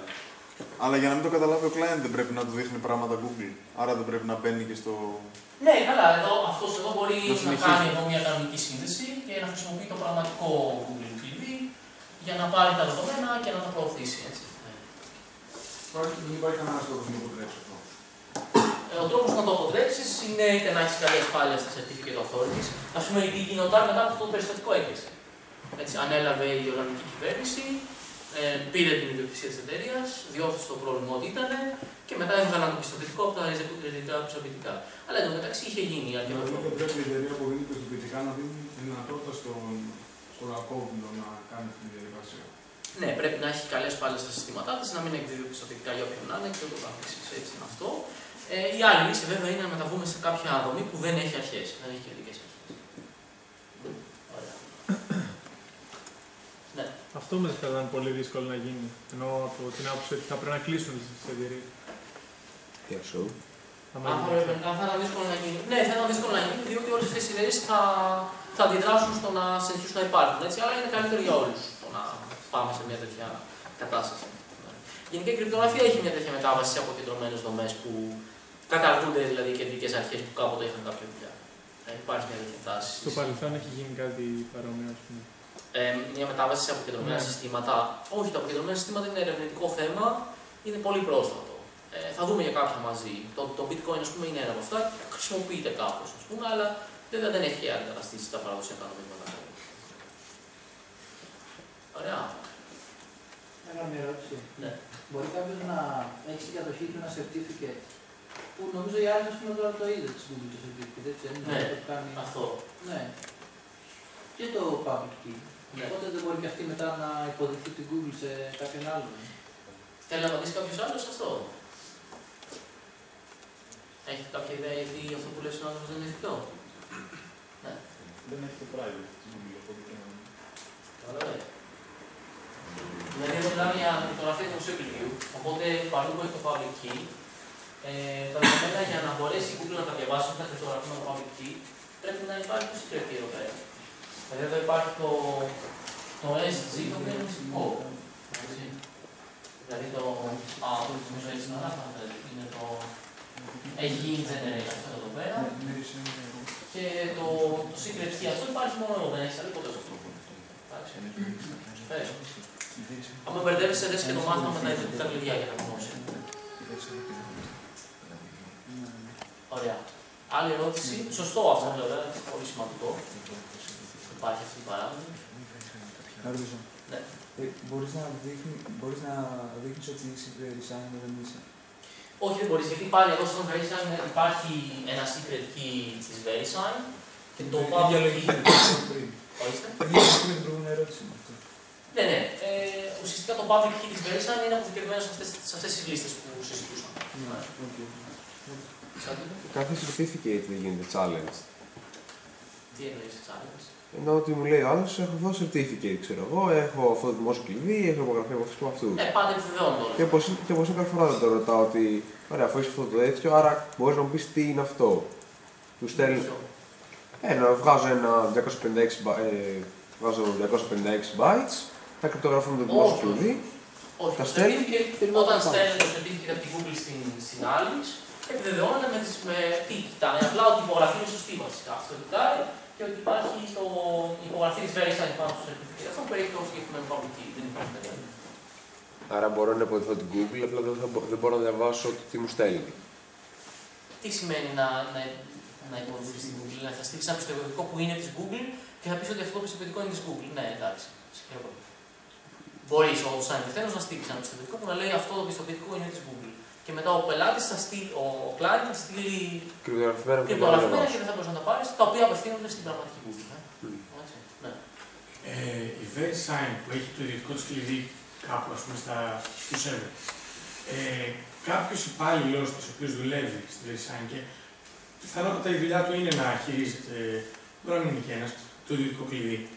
Αυτός μετά δεν μπορεί να το πάρει και σπίτι του κρυφά, να στήσει ένα δικό του, μια δική του εταιρεία την οποία να την κάνει Ναι. design και να πληρωθεί με δικού του. Ναι, σωστό αυτό. Θα, θα μπορούσε ενδεχομένως να γίνει.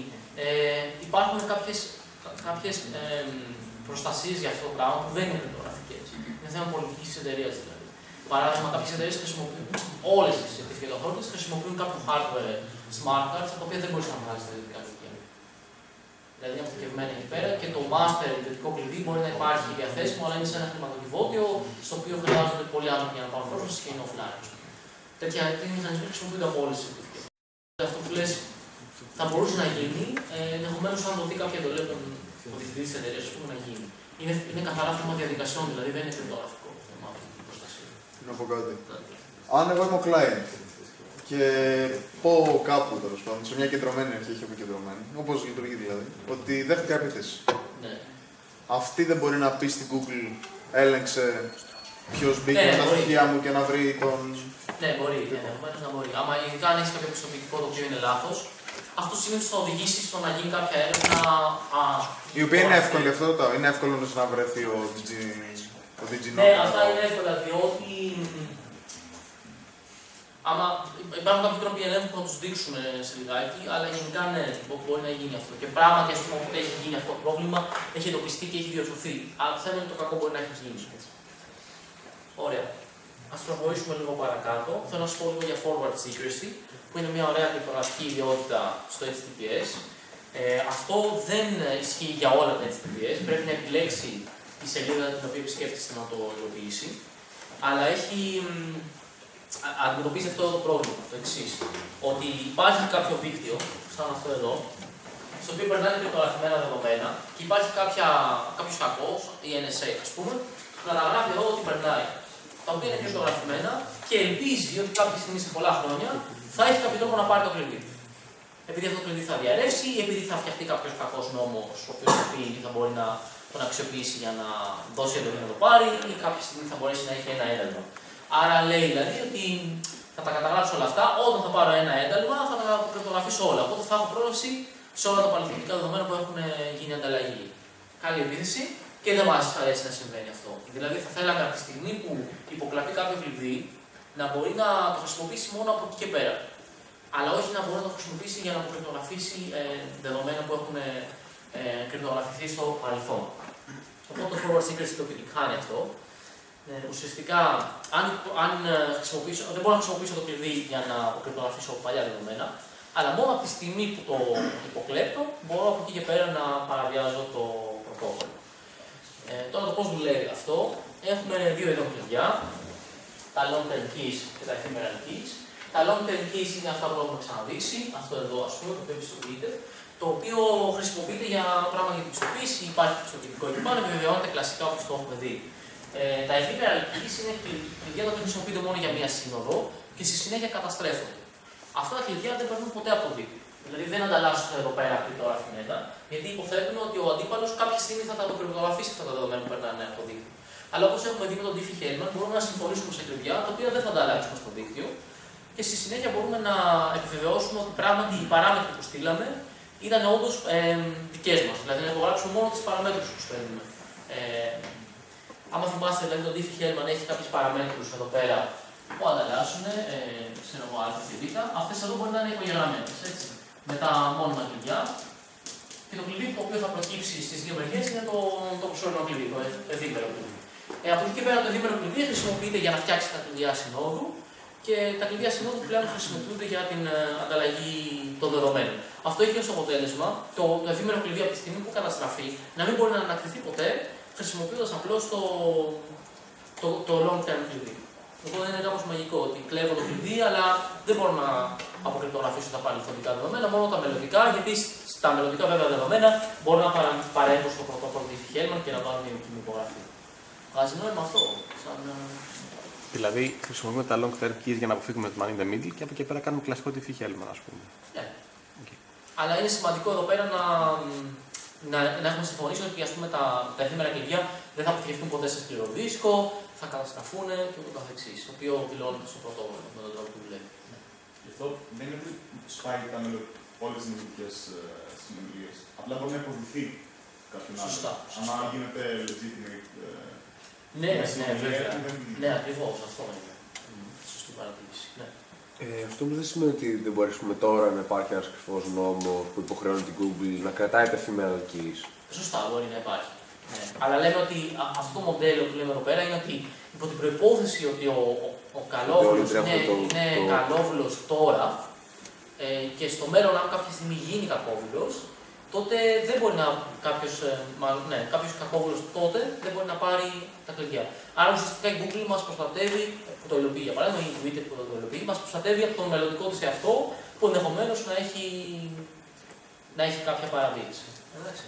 Αυτό είναι το, το forward secrecy. Ε, και θέλω να σας το δείξω και όλες στο browser, οπότε μπορεί να το βλέπετε. Ε, στο Twitter υπάρχει αυτό.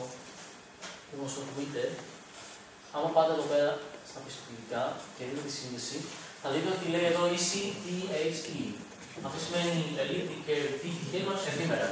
Άρα το τελευταίο E είναι ότι χρησιμοποιούνται εφήμερα κλειδιά και άρα υπάρχει forward secrecy. Εντάξει. Ε, μεγάλα sites το υλοποιούν αυτό. Είναι δύσκολο κάπως στην υλοποίηση, έχει κάποιες δυσκολίες, οπότε δεν το υλοποιούν όλοι. και κάποιοι που το υλοποιούν μπορεί να μην το υλοποιούν και σωστά, έχει κάποιες δυσκολίες. Ναι. Ε, δεν θέλει παραπάνω υπολογιστική ισχύ, έτσι. Όχι μόνο αυτό. Έχει και δυσκολία ότι ας πούμε, τα κλειδιά δεν πρέπει ποτέ να γράφονται σε σκληρό δίσκο. Διότι ο σκληρός δίσκος μπορεί αργότερα να αναλυθεί με εγκληματολογικέ μεθόδους και να προκύψει το κλειδί το οποίο έχει αποθηκευτεί. Mm. Πρέπει να μείνει μόνο στη μνήμη. Αυτό έχει κάποια δυσκολία στην υλοποίηση. Το λες ξανά αυτό; Ναι, λέω το εξής, ότι το επίμενο κλειδί αυτό εδώ. Για το σκληρό δίσκο, λέω. Ναι, το επίμενο κλειδί αυτό ε, δεν πρέπει να αποθηκευτεί σε σκληρό δίσκο. Πρέπει να μένει μόνο στη μνήμη. Γιατί στο σκληρό δίσκο τι μπορείς να κάνεις; Τι μπορείς να κάνεις; Άμα έχεις ένα ένταλμα, μπορείς να πάρεις ένα σκληρό δίσκο από τον οποίο διαγράφηκε και να κάνεις μια εγκληματολογική ανάλυση για να πεις όπου το βρήκα. Μπορεί να βρεις δεδομένα που έχουν διαγραφεί δηλαδή. ενδεχομένως. Ενώ στη μνήμη είναι πολύ πιο δύσκολο να γίνει αυτό. Σε, σε λίγα δευτερόλεπτα δηλαδή στη μνήμη θα τα χάσεις για πάντα, ενώ στο δίσκο μπορείς μόνιμα ενδεχομένως και μετά από χρόνια ενδεχομένως να, να βρεις δεδομένα τα οποία έχουν διαγραφεί. Άρα οι υλοποιήσεις του οποιοδήποτε βιβλίου, οι σωστές υλοποιήσεις, ποτέ δεν θα πηγαίνουν ε, τέτοια κλειδιά στο σκληρό δίσκο.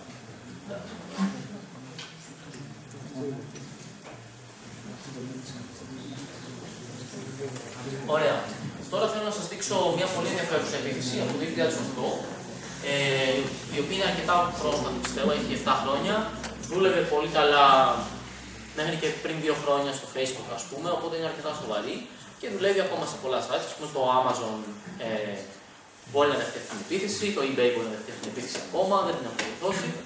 Και αυτή η επίθεση τι λέει, λέει το εξής, ότι όταν εγώ θα μπω στον browser μου, θα πληκτρολογήσω ένα domain name έτσι. Θα γράψω απλά amazon.com. Δεν θα γράψω HTTP ούτε HTTPS μπροστά.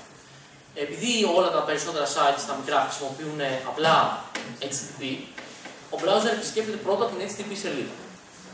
Ε, όταν το site υποστηρίζει HTTPS, θα με κάνει και θα μου στείλει ένα, μια απάντηση που μου λέει: Κοίτα να δεις, το site είναι πραγματικά HTTPS και όχι HTTP.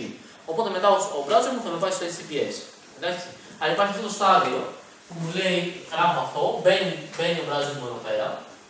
Sorry, έχω γράψει λάθος νούμερο εδώ. Ε, μπαίνει ο browser μου εδώ πέρα και αυτό στέλνει μια απάντηση η οποία λέει: Κοίτα να δεις, πρέπει να μεταβεί εδώ. Αυτή η απάντηση στέλνει μέσω του απλού HTTP. Το οποίο σημαίνει ότι υπάρχει μια στιγμή ενός δευτερολέπτου ή και λιγότερο, που τα δεδομένα αυτά είναι ε, ακρυπτογράφητα και μπορεί κάποιο να τα παραβιάσει. Κάναμε το. Ωραία. Αυτή η επίθεση λέγεται SSL strip. Την έχει φτιάξει αυτός εδώ, είναι ο Moxie. Ε, α, το 2009 το 2008. Ε, ο οποίος είναι και στην, στο security του Twitter. Ε, μάλλον έφτιαξε το security του Twitter. Τι λέει το SSL strip. Απλό πράγμα, αυτό που σας εξήγησα όταν ε, κάποιος πα, παρεμβαίνει στη σύνδεσή μας, όταν υπάρχει μια απάντηση που του λέει από HTTP πήγαινε σε HTTPS, αυτό το μήνυμα από τον ε, επιθέμενο ε, διαγράφεται από το δίκτυο εντελώς και ο, ο, ο πελάτης εδώ πέρα, ο client, δεν βλέπει ποτέ ότι πρέπει να πάει σε HTTPS. Στη συνέχεια, ο, ο επιτιθέμενος κάνει αυτή τη διαδικασία. Δηλαδή, ε, παράδειγμα, εδώ είναι μια επίθεση στο Facebook που πλέον στο Facebook δεν δουλεύει, αλλά πριν, πριν δύο χρόνια δούλευε. Ε, θα στείλω ας πούμε, το password μου εγώ μέσω HTTP απλού, απλό HTTP. Βέβαια το Facebook δεν δέχεται απλό HTTP, οπότε ο επιθέμενος θα συνδεθεί με το Facebook σε HTTPS, θα στείλει μέσω HTTPS το password, θα λάβει την απάντηση και μετά θα στείλει μια κρυπτογράφικη απάντηση στον πελάτη. Αλλά αυτή εδώ η σύνδεση είναι κρυπτογράφητη, αυτή εδώ η σύνδεση είναι κρυπτογραφημένη. Εντάξει, αρκετά απλή επίθεση, αλλά δουλεύει. Ε, είναι ένα πρόβλημα. Ναι. Γιατί να πάτε να πήγαινα από το HTTP στο HTTP να μην γίνει απευθείας, άμα το υποστηρίζει το site να το δεις. Ναι, ωραία ερώτηση. Πώς θα ξέρει ο browser αν το site το στηρίζει; Δηλαδή, δεν θα ήταν προτιμότερο να αργούσε ε, ένα δευτερόλεπτο να μην, να μην γίνει καν στο HTTP και κάπως να μην αναπτύσσουμε μια διαδικασία. Πώ πώς θα γίνει αυτή η διαδικασία, για πες μου μια ιδέα.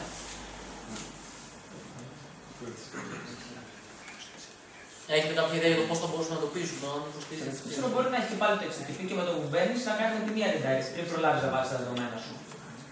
Ναι, το redirect όμως είναι κάτι που σου λέει ο server. Ο server σου στέλνει μια απάντηση που σου λέει τώρα κάνει redirect. Ναι. Αυτή την απάντηση, η οποία θέλει να την πάρει, γύρω να τη στείλει ποτέ σε σένα.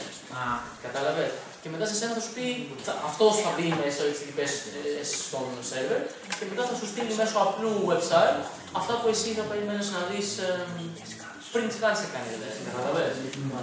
Και σου αλλάξει μάλιστα και όλα τα links να μην έχουν το HTTPS πάνω. Ο, επι- ο μεσαίο θα μπορούσε να σε κάνει να νομίζεις ότι έχεις συνδεθεί σε HTTPS. Όχι, όχι, δεν θα μπορούσε. Γιατί υπάρχει αυτός το είδος επιβεβαίωσης που έχουμε δει μέχρι τώρα. Δηλαδή, εδώ υπάρχει η άμυνα ότι, κοίτα να δεις, αν ο χρήστης προσέχει, θα δει ότι λείπει το ρουκετάκι όταν θα πάει να βάλει το password. Εντάξει. Ναι. Ε, το πρόβλημα είναι ουσιαστικά ότι όταν ε, για, για να μάθει αν ο σερβερ υποστηρίζει HTTPS πρέπει να στείλει ένα request το οποίο είναι HTTP και αυτό είναι ουσιαστικά το. Θα μπορούσε να στείλει και ένα request το οποίο είναι HTTPS. Α, ε, αυτό θέλω να πω. Ότι αν έστειλε από την αρχή HTTPS, τότε αυτό το πράγμα δεν θα μπορούσε να συμβεί. Οπότε Δεν είναι απαραίτητα σωστό αυτό, διότι ας πούμε, ας πούμε ένα, ένα πρωτόκολλο που θα μπορούσε να μιλάει ο browser, το οποίο πρώτα δοκιμάζει HTTPS και αν δεν δουλέψει δοκιμάζει HTTP. Αυτό πάλι είναι ευάλωτο. Καταλαβαίνετε γιατί; Κάποια ιδέα σας; Μπορεί να μην στείλει πάλι το, το, το διδέμενος ότι υποστηρίζει τις TPS. Ναι, ο διδέμενος μπορεί απλά να σβήσει την απάντηση που λέει υποστηρίζει τις TPS. Έτσι. Μπλοκάρει όλο τις TPS τράφη. Ωραία, άρα υπάρχει αυτό το θέμα. Ναι. Γιατί πριν δύο χρόνια, τι άλλαξε πριν δύο χρόνια; Τώρα θα σας δείξω μια άλλη σε αυτό που, που υπάρχει πλέον και υλοποιείται και από το Facebook και από το Gmail και από το Twitter και είναι αρκετά χαριτωμένο. Ωραία. Οπότε πώς θα αποφύγουμε το, το SSL strip. Καλά, εντάξει, υπάρχει ότι πληκτρολογούμε πάντα το HTTPS μόνοι μας και άμα δεν μας λέει, ας πούμε, δεν το χρησιμοποιούμε το site. Ε, ή υπάρχει αυτό το extension, το HTTPS Everywhere, μπορείτε να το εγκαταστήσετε κιόλας, το οποίο έχει μέσα μια λίστα με όλα τα site που υποστηρίζουν HTTPS και δεν σου επιτρέπει να μπεις χωρίς HTTPS. Ε, αλλά υπάρχουν διάφορα, διάφορα προβλήματα με αυτά. Α πούμε, το ένα είναι ότι πρέπει να υπάρχει μια τεράστια λίστα με όλα τα sites. Εντάξει, αυτό δεν μπορεί να δουλέψει στην πράξη για πάρα πολλά sites. Ένα άλλο είναι ότι αν γράφω HTTPS μόνος μου και ο, ο αντιθέμος με μπλοκάρει, δεν μπορώ να ξέρω αν με μπλοκάρει κάποιος κακός ή αν όντως το site δεν υποστηρίζει HTTPS. Δεν μπορώ να το ξέρω αυτό. Ειδικά αν μένω σε ένα καινούριο site. Έτσι. Ε, μία ιδέα είναι το certificate pinning που ε, υλοποιείται από αυτά τα sites, υλοποιείται ας πούμε, από το Google και από το Twitter. Ε, αυτό τι λέει, λέει ότι στον κώδικα μέσα του Chrome ή του Firefox υπάρχει κάπου μια λίστα με κάποια sites που υποστηρίζουν μόνο HTTPS. Ε, πράγματι θα σας το δείξω κιόλας αυτό. Θα το δούμε. Ε, όχι, θα το κόψει. Α, ναι. Λοιπόν, ε, αυτός είναι ο κώδικα του Chrome. Στον κώδικα του Chrome υπάρχει ένα μεγάλο αρχείο JSON, το οποίο έχει όλα τα sites που υποστηρίζουν HTTPS και τα οποία είναι πολύ σημαντικά. Α πούμε το Twitter υπάρχει και είναι εδώ πέρα. Να τα subdomains του Twitter και συγκεκριμένα υπάρχει και το ποιος έχει κάνει sign το certificate για να μην μπορεί κάποιος να, να το αλλάξει. Αυτό λέγεται certificate pinning ή preloading. Ε, έχει, έχει κάποια προβλήματα βέβαια. Ε, μπορεί κάποιος να σκεφτεί τι προβλήματα υπάρχουν με αυτό. Ναι. Ε, εγώ φτιάχνω μια σελίδα, την ε, άλλη, την υπογράφω από κάποια αρχή πιστοποίησης ε, και μετά, επειδή το κώδικα του Chrome του Firefox είναι open source, μπορώ να πάρω τον κώδικα, να προσθέσω τη δική μου σελίδα, να κάνω compile το binary και να πω ότι αυτό είναι το original Firefox ή Chrome και να το κατεβάσει κάποιος και να έχει μέσα τη δική μου σελίδα ως. Ως Αυτό σελίδα. δεν, όχι, δεν είναι σωστό αυτό που λες, διότι ε, πρώτον, από τη στιγμή που κάποιος κατεβάζει το δικό σου binary το οποίο έχει φτιάξει εσύ, έχει ήδη χάσει, γιατί μπορεί να έχεις μέσα έναν ιό που κάνει ό,τι θέλει. Άρα έχασε ήδη το μοντέλο σου. Και το δεύτερο είναι ότι στην επίθεση που λες, το χειρότερο που μπορεί να κάνει κάποιος είναι να βάλει HTTPS σε μια σελίδα που δεν είχε. Και αυτό δεν βλάπτει. Μπορεί να το βγάλει κιόλα. Εντάξει, σε αυτό που είπε. Μπορεί βέβαια να βγάλει, ας πούμε, αλλά εντάξει, εφόσον τρέχω κώδικα που μου δίνεις, έχασα, ας πούμε. Δεν, δεν έχω να κάνω κάτι άλλο έτσι. Έχεις κάποια ερώτηση; Ε, μια, ε, ένα ε, μειονέκτημα είναι ότι δεν μπορώ να κρατάω όλα τα sites που έχουν HTTPS ε, μέσα σε μια λίστα σε ένα JSON. Ε, ναι, δεν, αυτό πόσο θα κρατήσουμε, μερικές χιλιάδες sites. άντε. Δεν, τα, τα sites στο Ιντερνετ είναι δισεκατομμύρια. Έτσι. Μπορούμε να κρατήσουμε τα πιο ευαίσθητα όπως είναι Google, Twitter, Facebook, Εντάξει, τα αλλά κάποια το θέμα είναι δεδομένα. ότι το, το, το web δεν δουλεύει έτσι. Υποτίθεται ότι είναι ανοιχτό σε όλους. Θα πρέπει ο καθένας να μπορεί να το κάνει αυτό έτσι. Ναι. Άμα μέσα από ένα site που είναι υποχρεωτικά HTTPS ε, βλέπουμε αν ένα άλλο site είναι HTTPS. Εντάξει, αυτή είναι η ιδέα για τις τις αρχές πιστοποίησης. Θα μπορούσε μια αρχή δηλαδή, να πει κάτι. Όχι τέτοιο. μια αρχή, ας πούμε το Google που μπορείς να βάλεις στο JSON 4 site, ας πούμε, μπορείς να βάλεις στο Google. Ναι, δεν μπορείς ίσως να θα στο μπορούσε Google να πει βλέπει. αυτό. Ναι, θα μπορούσε ίσως. Δεν γίνεται αυτό στην πράξη. Έχει κάποιες, ε, κάποια αληθινή ιδέα. ναι. Μήπως υπάρχει κάτι σαν συγκεκριμένο σύστημα που να λένε ότι εγώ βλέπω HTTPS που θέλω, εγώ βλέπω, εγώ βλέπω, εγώ δεν βλέπω. Ναι. Ναι. Κοίτα, και οι δύο λύσεις έχουν κάποιες, ε, κάποια αλήθεια. Δηλαδή, ας πούμε, το HTTPS everywhere είναι αυτό που λες εσύ. Δηλαδή, υπάρχει κάποιος τρόπος να μάθω αν κάποιος site είναι HTTPS και συνήθως απλά κατεβάζω λίστες, αλλά θα μπορούσε ίσως να ρωτάω και κάποιον. Ε, και αυτό που λες εσύ υπάρχει. Ε, νομίζω ότι η CFF είναι το. η- Η EFF έχει το Observatory και ο Moxie έχει φτιάξει και αυτό σε ένα που λέγεται Conversions, νομίζω. Που είναι σαν αυτές τις ιδέες. Αλλά γενικά είναι καλές ιδέες, αλλά δεν δουλεύουν πάρα πολύ καλά ακόμα. Ε, οπότε αυτό είναι το πρόβλημα. Ε, η σωστή λύση, πιστεύω, εντάξει, μία από τις, σωσ- μία από τις ωραίες λύσεις είναι το HSTS, η οποία δουλεύει στην πράξη, είναι υλοποιημένη από πάρα πολλά sites, ε, και το Twitter και το Facebook πλέον και το Gmail, ε, και μπορεί να το κάνει και μόνος, ας πούμε, στο προσωπικό μου site, όντως υπάρχει έτσι STS. Ε, το STS τι λέει, ε, χρησιμοποιούμε αυτό που λέγεται το FU, Trust on First Use. Ε, trust on First Use σημαίνει ότι την πρώτη φορά που μπαίνω, η σελίδα μου εμπιστεύομαι ότι θα είναι εντάξει. Δεν θα έχει παραβιάσει κάποιο στο δίκτυο. Είναι μια αβάσιμη γενικά υπόθεση, αλλά υποτίθεται ότι συνήθως δεν μας επιτίθεται. Αυτή είναι η ιδέα. Ε, θα μπορούσε βέβαια να μην ισχύει. Ε, από τη στιγμή λοιπόν που δουλέψει το HTTPS την πρώτη φορά, μέσω του HTTPS καναλιού το, κα- το, η σελίδα δηλώνει ότι πλέον αυτή τη σελίδα θα χρησιμοποιήσει μόνο μέσω HTTPS. Αυτό είναι το HTTPS, σημαίνει ε, Strict Transport Security.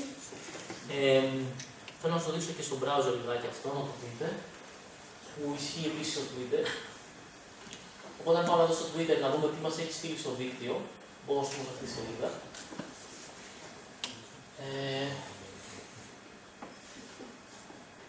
εδώ μου έχει στείλει κάποια απάντηση ο, ο σερβερ που δηλώνει ακριβώς αυτό το πράγμα. Όχι, δεν μου το έχει στείλει γιατί αυτό είναι εγώ.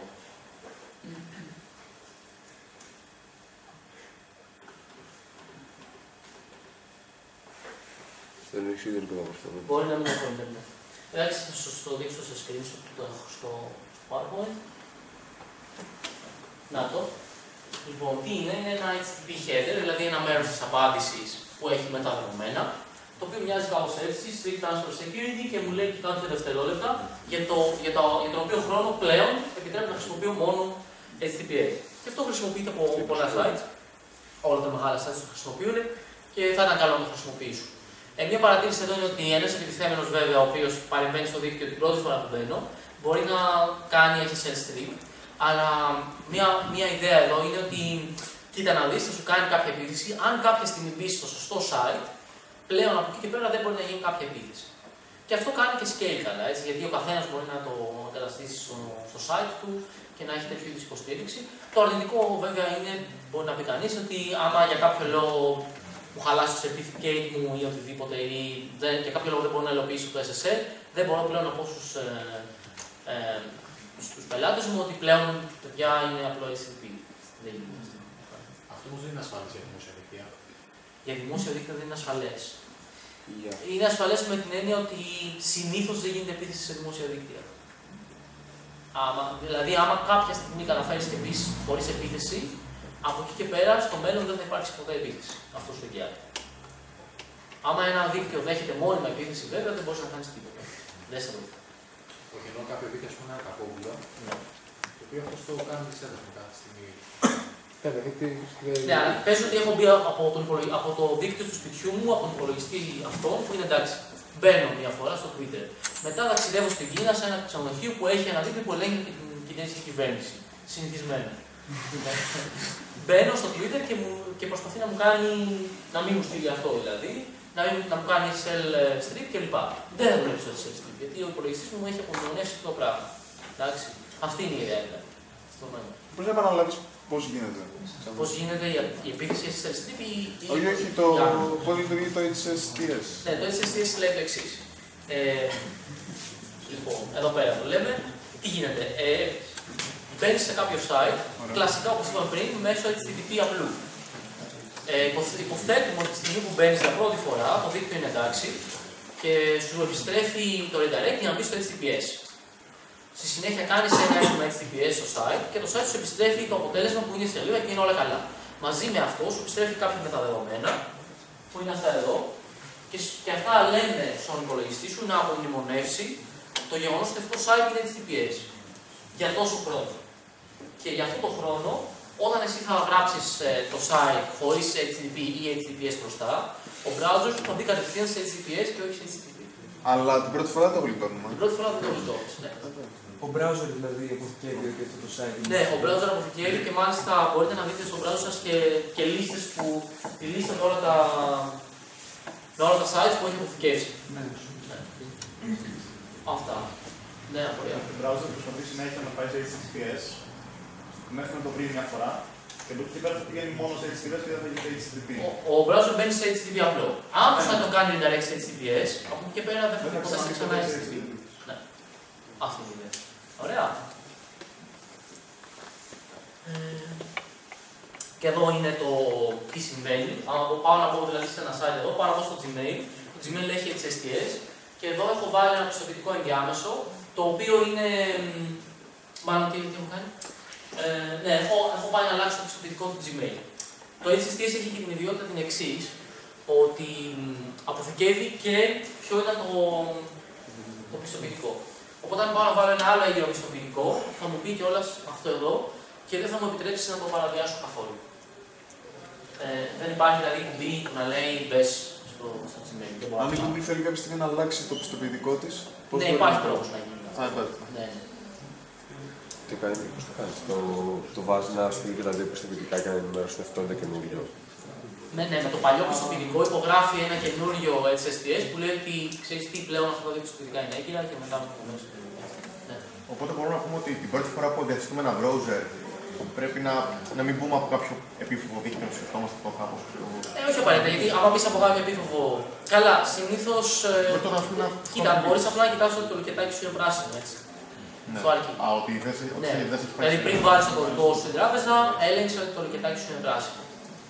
Αυτό. Αλλά αυτό το έλεγχο χρειάζεται να το κάνεις μια φορά γιατί από εκεί πέρα θα είναι σίγουρο. Αυτή είναι η ιδέα. Εντάξει, αυτό ευθύνεται κυρίως σε χρήστες οι οποίοι δεν θα κάτσουν να κάνουν τον έλεγχο. Και μάλιστα συνηθίζεται κιόλας αυτό έτσι. Γιατί όταν μπαίνεις σε απλό HTTP site, δεν σου βγάζει κάποιο warning ότι α, κάτι πάει λάθος και τέτοια. εντάξει. Και μάλιστα υπάρχει και ένα project στην Google το οποίο θα γίνει στα επόμενα δύο χρόνια, το οποίο λέει ότι κοίτα να δεις, το HTTP πλέον θα είναι σπασμένο και το κόκκινο warning. Οπότε όλοι πρέπει να πάμε σε HTTPS. Ε, αυτό ελπίζουμε ότι θα γίνει μέσα στα επόμενα 2-3 χρόνια και σιγά σιγά όλο το web θα είναι μόνιμα encrypted, ώστε το HTTP να φαίνεται ότι είναι προβληματικό. Και όχι μόνο, ένα, δηλαδή, όχι μόνο το σπασμένο HTTPS, αλλά και το απλό HTTP. Αυτά είχα να σας πω.